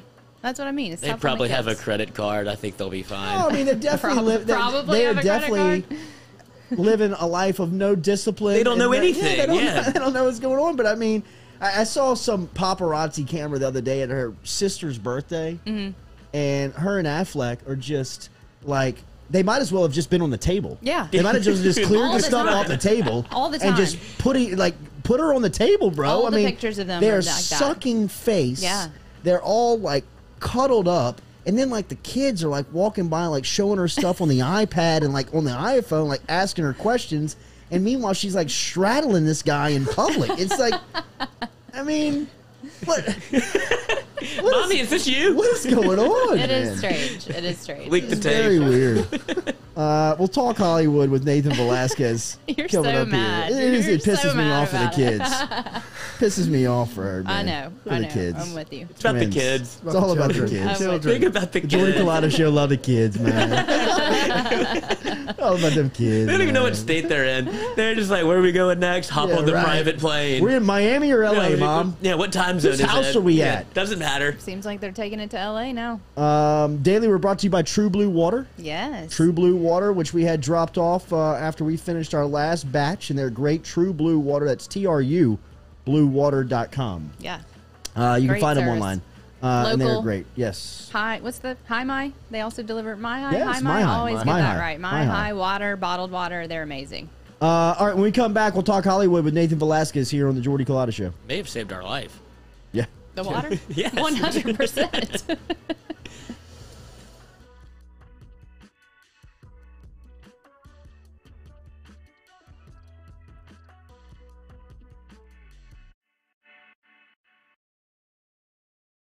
Are you self employed? Then you need to learn about Angel Oak's Home Loans Bank Statement program that they're offering, which makes you eligible as a self employed borrower to purchase or refinance a home without requiring a tax return. If you want to learn more, get in touch with me. Email me, Jordy at JordyCulottashow.com to learn about the bank statement loan program offered by Angel Oak. Jordy at JordyCulottashow.com to learn more. Gearing up for spring and summer down here in South Louisiana, and you want to keep your lawn maintained during these sunny seasons, get in touch with our friend Blake Abear over at Abear's Lawn Maintenance, where he says, You grow it, I mow it. 225 485 8022. 225 485 8022 is where you can find Abear's Lawn and Maintenance, the official lawn and maintenance company of the undisclosed location. Go Chevrolet is proud to announce Go Express Auto Sales, the new used car lot located in the capital city of Baton Rouge, Louisiana, at 11522 Florida Boulevard. Go Express Auto Sales is online at goexpressautosales.com, or you can search them on Facebook and social media at Go Express Auto Sales, the newest addition to the family of Go Chevrolet. Remember, Go Chevrolet is located down in Laplace, Louisiana, but now welcoming aboard Go Express, the new used car lot located in Baton Rouge, Louisiana at 11522 Florida Boulevard. Are you self employed?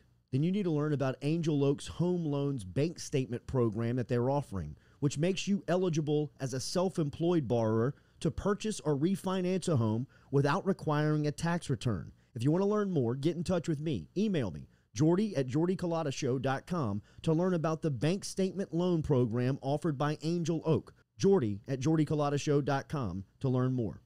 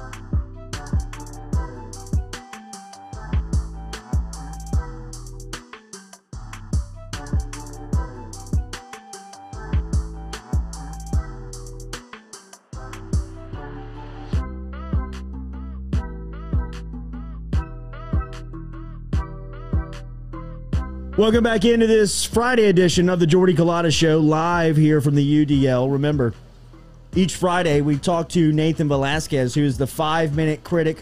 He is a must follow on Twitter. Got to hit him on YouTube to keep up with the latest of uh, his breakdowns over at the five minute critic. Uh, we will review A Quiet Place 2 this morning as uh, it was. it? Uh, I have not. I have not. Neither. Have you? Nobody No, on I here saw, I saw Cruella. has, That's the only movie uh, I've seen recently. and Nathan it, was, has. it was fire. Haven't seen a quiet place too, but I've seen Cruella. Cruella. No, I would pick Cruella over The Quiet Place. It was awesome. Uh, Nathan Visually is stunning. Nathan is here with us. Nathan, what do you think about that analysis? Wait, I, I think there's a little, a little talking over each other there. I think Lloyd, did you say that you were you're choosing Cruella over A Quiet He Place? did. Yes, it was awesome, dude. I mean, I was in the right state of mind, but the the visuals and the way it was presented, all the and the way it was filmed, I thought it was awesome. What Emma state of Stone did an mind are you excellent. in? Hi, it was, but it was awesome. Like the way it was filmed and the way, like, I loved everything about it. I've Emma heard Stone that. did a great like job of unearthing. It was like a female Joker almost, but a little not as dark. I want to see. I haven't had the time or made the time to go and see that yet. It's actually from the director of I Tonya, which I, I love. It has I, a lot of those Tonya. And- vibes. Yeah. Yeah, really. Well, I, I really want to. I mean, now see, Lloyd, on on your notes there, I, I'll make time this weekend to go and check it out. Yes. But you got to go see a Quiet Place too. You got to check it out. All right, I'll, we'll go didn't- one for I one didn't there. see the first Quiet Place. I was told not to, that it would like give me too much anxiety. Dialogue's great. With the Who told you not to do? My, Dialogue's husband, my husband. He said, "Don't watch it." It, it's actually not that scary. Like, eh, but not in It's like not in scary a bad way. It's like the kids Okay. dying part. I think. That's what I'm Spoiler alert. avoid. That's Quiet Yeah. Place You don't one. like- That's Quiet. You're not a first fan Quiet of- Place. Not a fan of the You're not a fan dying. of kids dying. Really not. Well, see that that's what I that's what I'm all about all the time. so like, I love child death. The five minute critic, Nathan Velasquez. Is he from China? Very popular here Put on the it on the Culotta poster. Show. That's put it on the poster. Uh, Nathan, another uh, flop at the box office uh, with uh, with, with um, losing uh, Heights uh, came uh, losing uh, almost uh, 150 million dollars. Uh, catch our Yeah. listeners up on this one. Well, we'll get to A Quiet Place 2 because A Quiet Place 2 kept the top spot in the box office. People were predicting that this movie, In the Heights, was going to, you know, soar, take the number one spot. It cost like $50 million to make. And because it was supposed to come out before COVID, they did a whole like campaign for it. So they put a bunch of money into advertising it. Then obviously they had to push it back, so they had to do a whole nother campaign. And so the money that it had to make, it's two hundred million dollars this movie had to make until it breaks even. After two hundred million dollars to make a profit. So, you know, and, and it's an uphill battle. You want to give it like a little bit of, you know, grace there because they pretty much had to dump in two entire ad campaigns into this movie. But first weekend, it's predicted they're going to make $20 million. They come in just over 11, which that is just pathetic. That's, that's a very, very pathetic showing. And pretty much everyone over at Warner Brothers is saying, oh, it's because of COVID. No one wants to go and watch this movie because uh, it's because of COVID, which doesn't make any sense at all. Like A Quiet Place 2, after being open for three weeks, made like twice the amount of money that this movie made on opening weekend. So I, I don't know what that says. I know that we've got franchises all the time. We've got sequels. Those are the only things that really seem to make money nowadays. Like I said, I haven't seen In the Heights. I, I can't speak to whether or not it's good or not, but this is clearly a movie that people were not excited to see. Seems like a misstep so far. Maybe it'll make money back, but this is looking like it's going to be uh, one of those stories of uh, cautionary tale, losing a lot of money here. Nathan, is it surprising to see big budget films still today when, when so many so many are just being pumped out? Wait, you're saying it's surprising to see so many big budget films? Yes, or, or not so many, but to see big budget films still being made like like this one. Well, it's in terms of what a studio, a studio actually has more security if they're going to spend, generally speaking, they have more security if they're going to spend a ton of money and pumping out all of these massive movies with huge budgets and attach a star to it. And whether or not it does well critically, whether or not it has a lot of long, longevity after it's out of the theater, the formula pretty much shows you're going to at least make your money back uh, if you spend upwards of the 60, 70 million dollar mark. And I think that's the quality of movies that kind of do that has been going down recently. And there is, this is the really the, the test that people like Netflix and Hulu are doing is that actually we might be, the market might be moving more in a way where it's better to actually make 15 two million dollar movies Yes. and spread all of this content out instead of saying, okay, Warner Brothers are going to put out 10 movies this year and each one's going to cost $100 million. And if one of those flops, which this one is, you're in you're in shit, and they're in pretty deep shit right now with this one. Right. I mean, that's that, that's my, would be my theory. I mean, if you just look around and you have, um, you know, the ability to have four successes compared to one, and that one being at a, at a three million dollar price tag or a two million dollar price tag, like you say, compared to this one that's a, a hundred and fifty million dollar price tag. I mean, if you swing and miss on the one fifty, your year is shot.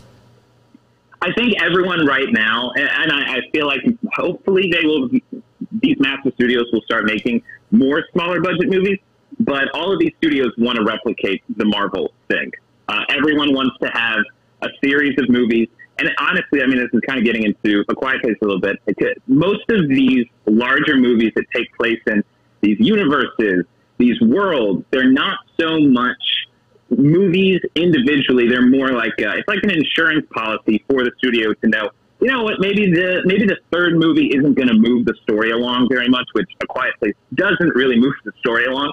But you know, people love the first one. We're probably going to make a TV show out of it. We're going to put it on our streaming service, and it starts turning into more of a brand than a movie. And I, that, that's the other option. If they're not going to do smaller movies at a larger level of quantity, they're probably going to do fewer movies like this and just pray, pray to God that people are going to then sign up for the TV show that's going to come out. Go and see all the movies. Give all of their brand loyalty to whatever multiverse they're creating. Has uh, has anybody done a better job of that than Fast and Furious? You know what? I've seen like two of the Fast and Oh no, I haven't movies. seen any of them. I think they're awful, but they've created this brand around them when they have this niche fan base that they're absolutely love it because they've made n- none of the fucking things.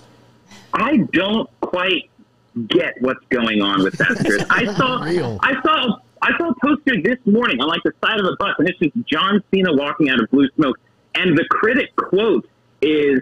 It destroys the hype and becomes one of the greatest movies of the year. It's like, really, really, Fast and Furious Nine is going to become one of the greatest movies of the year. What, what, what is this? It's unbelievable. I mean, it, it's got, it's got to be the the biggest Boondoggle. I mean, just i- in Hollywood, it's got to be. Uh, Nathan, tell me about uh, Quiet Place Two. How it is staying atop the uh, the box office uh, charts. This is one that people really need to go and see in theaters because I'll say there there are negative sides to it. The characters are nowhere near as complex or interesting as the first movie. Um, the story is kind of funny how little progression is actually made. If you go and look at the synopsis on like IMDb, it says there is more danger outside of the farm than just the monsters.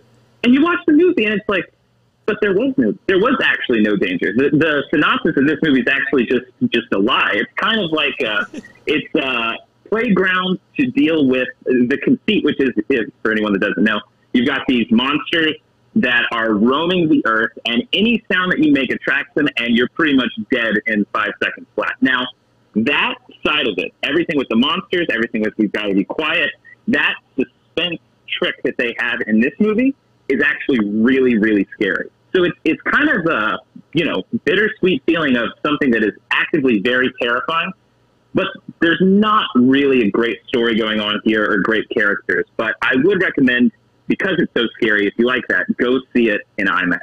Uh, have you seen the Hitman's Wife's Bodyguard? I haven't. And this this I, I'm pretty sure this is a sequel. I think isn't it? It is. It is. It Ryan Reynolds sequel. I didn't see. Neill. I did not see the first one either. Yeah, I didn't either. I heard thought you just watched though. movies. What What are you doing? Not gonna lie, not the biggest Ryan Reynolds fan. I, I Oh. usually it's got to be a a huge uh, huge recommendation in order to do that. Deadpool was great though. yes. Yes. Okay. Uh, what are you watching right now? Anything streaming? just- anything streaming? I just finished uh, Succession actually. Ah, Oh, how good was that? Oh, it's fantastic! It's fantastic. I honestly the the trick that they pull in that last episode, I, I feel like an idiot for not having seen it coming. But holy shit! Yes. I mean, I, I should have just waited and not watched it till the third season was closer because now I've got what like a year and a half. Do you- But no, Do you have an idea of a comparison to Billions, or, or, or have you seen Billions to compare it to that? Have not, I have not watched uh, Billions, but I do. From what I've heard of people that really like Billions, this feels like the same type of uh, Sure. deceit from groups of people that are, you know, tight knit in these like huge corporate structures. So it, it sounds very much like a comparison to Billions. Yeah, I've seen both. Succession is more of a real time story. It feels like it could actually happen, while Billion just like fantasizes the idea of being a billionaire and having like fu money. Yeah. Uh, how's how's the That's the city? how's the city? Oh, the city, the city is fantastic. It, the thing that I wasn't a fan of, of LA was just how spread out everything was. It took you forever to go and do anything. Like the immediacy of everything here. And it's, you go around the country, this place still has, you know, more of the, the masks than you would normally see. But I mean, it's pretty much, I feel like the masking is now just kind of part of the landscape. You kind of forget about all that. The level of uh, fast pace that's going on in New York City, it, it, you can't really rival it. I absolutely love that. I don't know if maybe I just have a problem with like loving anxiety and stress, but there's plenty of it here, and uh, I'm a fan. Sound like a speed freak. I know a guy. um, uh, I hate to go to I hate to go this route, but how canceled is Lin Manuel Miranda's? That's the part that I don't quite get. I mean, I assume you're talking about the statement that he made about the diversity statement. I think, unless I've missed another No, no, story. yeah, everybody's just kind of picked up on, on him on Twitter with not casting the maybe the appropriate amount of Latino people, which it seems to happen, and even though he's Right. Latino himself. That's the other part that I didn't quite understand. There's uh, on the Hollywood Reporter and IndieWire, you kind of, and, and I've, I've kind of been thinking about this a bit. I want to put out a video within like the next month to kind of dissect the why it's so difficult for these newer type movies to really land with an audience. It's a little disconcerting that most of these producers and writers in Hollywood they're looking at the failure in the Heights and they're saying we've got two problems why this didn't work. We've got COVID, which I think is ridiculous, and then you've got Lin Manuel Miranda is writing this whole thing about how there's a lack of diversity in the movie. Again, I haven't seen it. It doesn't look like there's a huge lack of diversity, and I, I'd also be surprised if this movie is losing 150 million dollars because of that.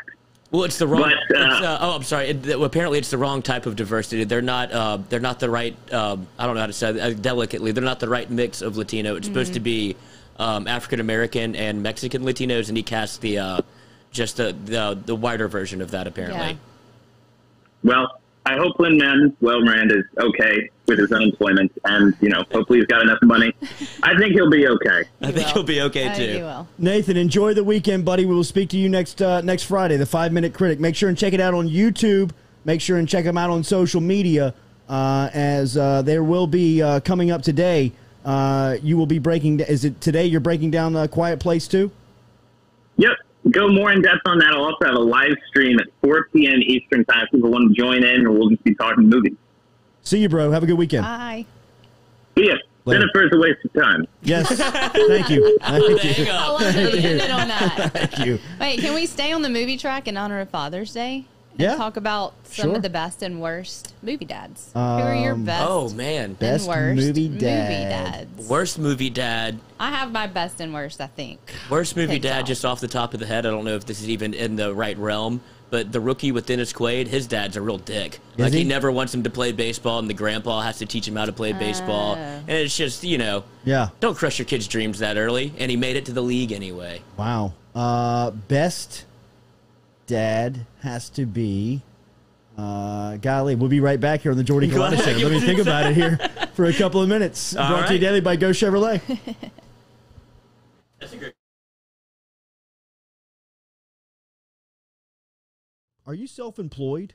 Then you need to learn about Angel Oak's Home Loans Bank Statement program that they're offering, which makes you eligible as a self employed borrower to purchase or refinance a home without requiring a tax return. If you want to learn more, get in touch with me. Email me, Jordy at JordyCulottaShow.com to learn about the bank statement loan program offered by Angel Oak. Jordy at JordyCulottaShow.com to learn more.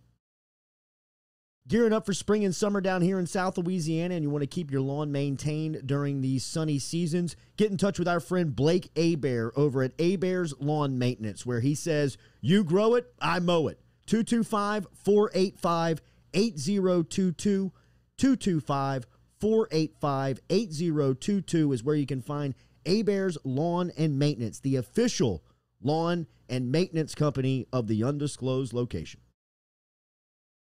Go Chevrolet is proud to announce Go Express Auto Sales, the new used car lot located in the capital city of Baton Rouge, Louisiana at 11522 Florida Boulevard. Go Express Auto Sales is online at goexpressautosales.com or you can search them on Facebook and social media at Go Express Auto Sales, the newest addition to the family of Go Chevrolet. Remember, Go Chevrolet is located down in Laplace, Louisiana, but now welcoming aboard Go Express, the new used car lot located in Baton Rouge, Louisiana at 11522 Florida Boulevard.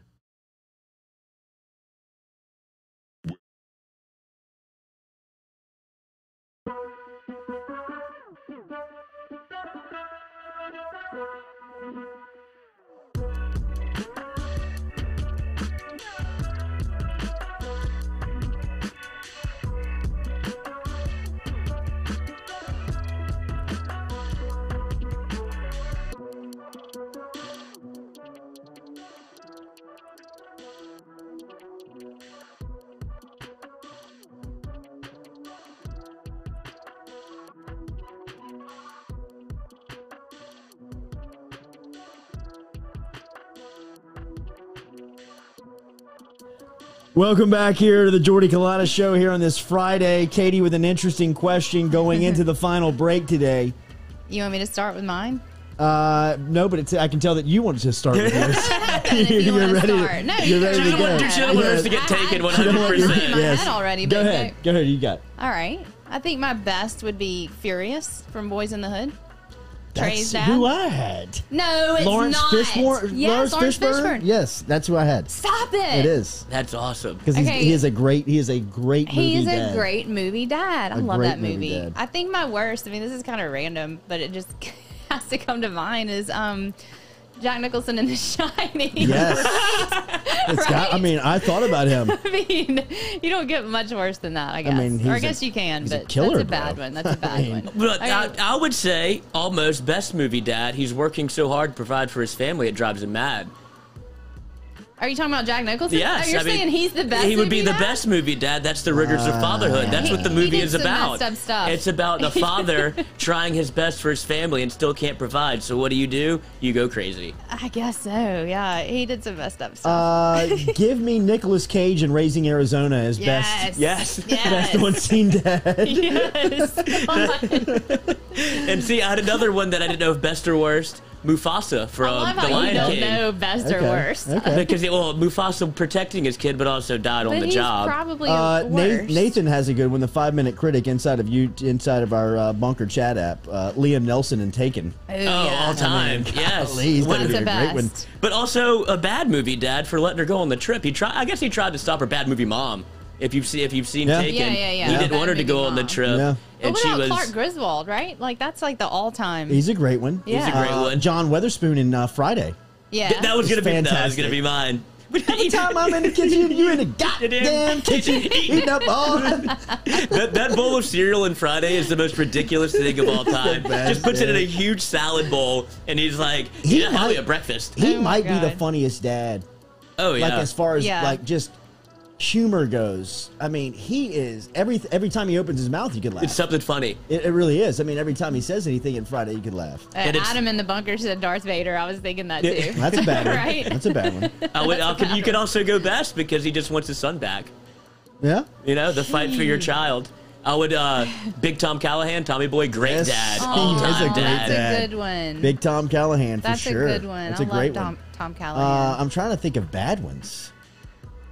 Yeah, I mean we've named some pretty bad ones. What about? I can't believe you hadn't said Don Corleone. Yes, I was going to say Vito one. Corleone Good is one of the best. Yeah. Um, Uh, the someone in the bunker said American Pie. He's a good one. He that is a good guy. Gene- Eugene Levy, Eugene and yes, yeah. that, I mean, a guy that just is trying to be such a cool dad and ends up being like the worst dad ever. He's so funny. he plays it great. He does. Just gonna give you some condoms and some magazines. Here you go. Go on your merry way. Yes, he does. This apple pie tastes great. Gross. I wonder how many people tried that after that movie. Oh. Legitimately? Yeah, Like, because I'm sure one person at least was Uh, like more- a lot more than one. Because that probably traveled to a 13 year You old. people. We're going right back one. to that conversation A lot more again. than You one. people. you people. you people. um, It's the perfect temperature. Would anybody admit to that? I think you would have to get caught. Yeah. God, what a thing to get caught doing. I mean, how do you explain that other than I'm just too horny? I guess it's better to get caught by your parents, like actually having sex with someone, than having sex with an apple pie. Yes. Right? Yes. I Yeah. mean, at least you can be like, Good, a good on you, kid. You What get a fist doing, bump from dad on the way out, but that you're just like, what do we have? Are we going to a Sit clinic? down. Yeah, Let's talk. We're not doing that again. right. Um, there is some couth in this. And there's less expensive ways to do it. Like I said, it takes a lot to make a, an apple pie. Right. There's I a lot mean, of is ingredients. that your you have mom's recipe? Yeah. It's- is that incest? If Are you going if to tell her am I? it might be incest to have sex with your mom's apple pie. Uh, this is a good one from Adam uh, E. We'll call him inside of the bunker. Escuse? Uh, yeah. Yeah, Yeah. that's my boy. Okay, Adam Yeah. Escuse.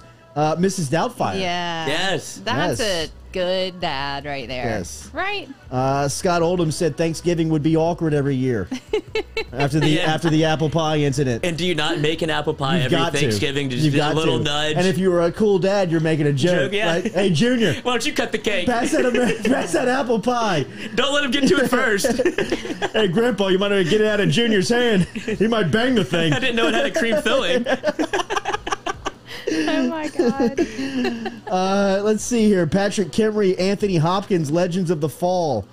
Uh, God, Phil it's been a while Dunphy, since I've seen that. Oh, great TV dad. great TV dad. If Oh, you've ever yeah. seen uh, Outside Providence with Alec Baldwin, I have not. you have not. He's a good to or me, bad? He's a great dad. okay. Bad real life dad, good movie Bad dad. real life dad, but in Outside Pro- Outside Providence is my favorite Alec Baldwin film. Uh, Okay, he's I've got, never seen, seen that. He's got You're the, a low key movie guy. he's got Yeah, the you really Providence. are. He's got the Providence accent. That's because he doesn't sleep. Um, that's right.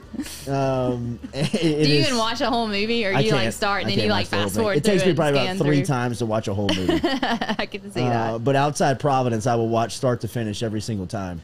Uh, my favorite of Alec Baldwin's films. Okay, I'll have to check that Uh, out. yes, check that one out. Oh, dude. Uh, Will Smith in The Pursuit of Happiness. Okay. All time Man, dad. that I mean, talk about working hard, but he That actually, movie, yeah, it'll, it'll get hits a me tear out of you. I, every time I bawl in that movie. Uh, Bru- Bruce Willis in Armageddon. Yes. Oh, so upset. Ultimate He's so sacrifice. so upset with Great Ben dad. Affleck. I guess I'll just jump on this moon and save the world real quick. Yeah, no big deal. and Ben Then go- Affleck wins again. Yeah. He does. Gets the scene- girl. The scene with the animal cracker is just so, so sexual, and it's like nobody's ever done this I and hate it that worked. scene. Right. Yeah, it is a weird scene. That's a dumb scene. That's it's That's cringy such to like me. '90s, 2000s. Like this is how we're gonna sexualize this event. Yeah. Like not really Jennifer. sex. Yeah, yes. You think? Oh, they probably reenacted it immediately. Yeah. They're totally reenacting the animal crackers. I got animal cookies, Ben. Yeah, it's his favorite snack. I bet you do, Jen. Which one of you let done that to you first? Uh, Schwarzenegger and Commando says Patrick Kimry. Never seen it.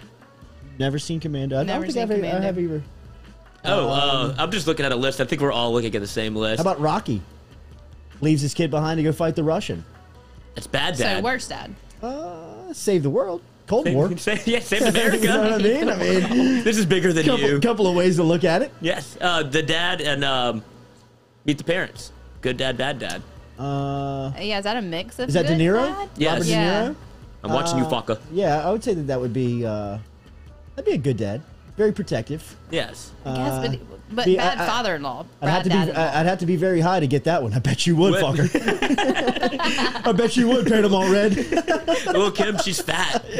PH, AT. oh my gosh. They're- I love when they're playing volley. They're all huddled up, and he's trying to make his way into the circle.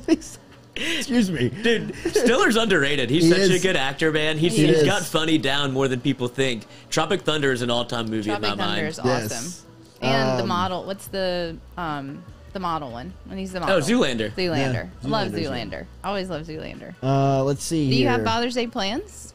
Happy don't. Father's Day, by the way. Happy Thank Father's you. Day weekend. Sunday. Thank you. Yes, Sunday. So you're not. Yes. Um, Best thinking about a beach trip Dad. next week, so we might be out of here on uh, on Monday after the show for a couple of days. Uh, have you put that on the calendar yet? I have not, just because it was it was tossed to us. Uh, it was a little impromptu, and um, I'm hoping LSU can get a coach before then, so we can give a reaction. Yeah. Uh, but just a couple of days. You know what's going to happen. Sylvester Stallone and Over the Top. That I'm Seen that, they're gonna go. They're going to go. You're going to be gone. They're going to ha- Uh, announce. That's the okay. We can do something else. Yeah. Wait, what is Sylvester? What? Uh, Over the Top is a uh, arm wrestling. Oh, I was maybe. like, wait, what does that have to do with the coach? How, how many ideas do you have to have in a room to where they promote? They're like, yeah, we'll give the go ahead to an arm wrestling movie. Like that was never a popular enough thing to I've where you can make a whole of it. It movie just had to around be. it. It just had to be Stallone. I don't think it's it's the. Oh, it's the thought of actor carries movie. I the think idea. Stallone comes to you and says, "Hey, look, Rocky and Rambo. After you know what I mean. Y'all want to do some. You know, you, know, you want to flex the well, I- guns? well, I'm still a Huh? good lord. Look at the forearms on me, huh? You want to show these things That's the off? reason he brought it up. He wanted to flex on camera. Right? um, s- let's see anybody else in here that makes sense for a worst TV dad. John Q, Denzel. John Q. It's a Great great dad. saw TV it. dad. Never saw Never it. saw it. I wouldn't see it if I was a dad either. It's probably too much. Al Bundy. Ted Bundy. Uh, that's Ted. He wasn't Al, a dad. Al Bundy wouldn't last. He wouldn't last two shows in today's in 2021. Well, no, you saw what happened to Roseanne, Yeah. and they're they're cut from the same cloth of that old school. Uh, Yeah. Todd Ohms. Jordy, do you still keep in touch with Moscona? I do. Yes, we do trade. Good dad. Uh, yes, Moscona, good dad. Good dad. Very good dad. Uh, T Bob as well. Keep in touch with him too. A very good dad. Um, So Sean Penn and Mystic River. Great dad, says Kelly Calandro. never seen that either. What up, mama? Uh, oh, Guido dad. Is that a shot at an Italian? Ooh, Um, all right, so it is uh, Father's Day weekend. Everybody out there, enjoy your Father's Day weekend. Uh, make sure you tell the kids around you that you love them.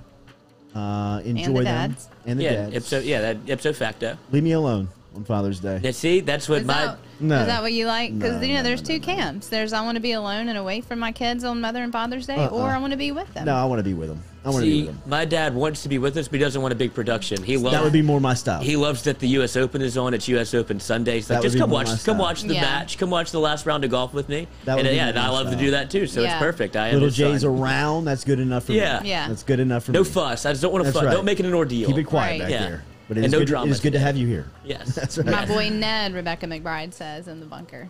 Um, who's that? Ned. Ned, Is that a Is that a dad? Dad? Ted, is that a TV dad? is that not your dad's name? Maybe dad? No, that dad's name is Russell Russell T.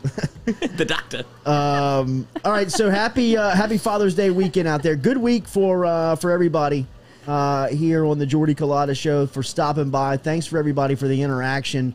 Geaux Chevrolet drives us each week. Remember online at geaux Chevrolet.com In the place. uh, in Laplace, Louisiana, Laplace, Louisiana. Go see Michael Divinity and their crew over there and pick up a new ride this weekend. Uh, enjoy the weekend. Happy Father's Day. Uh, LSU have a baseball coach when we come back on Monday morning? Yes or no? Who knows? Yes it's or been no? five days of wondering. Lloyd, yes or no? LSU baseball coach Monday morning when we come back here.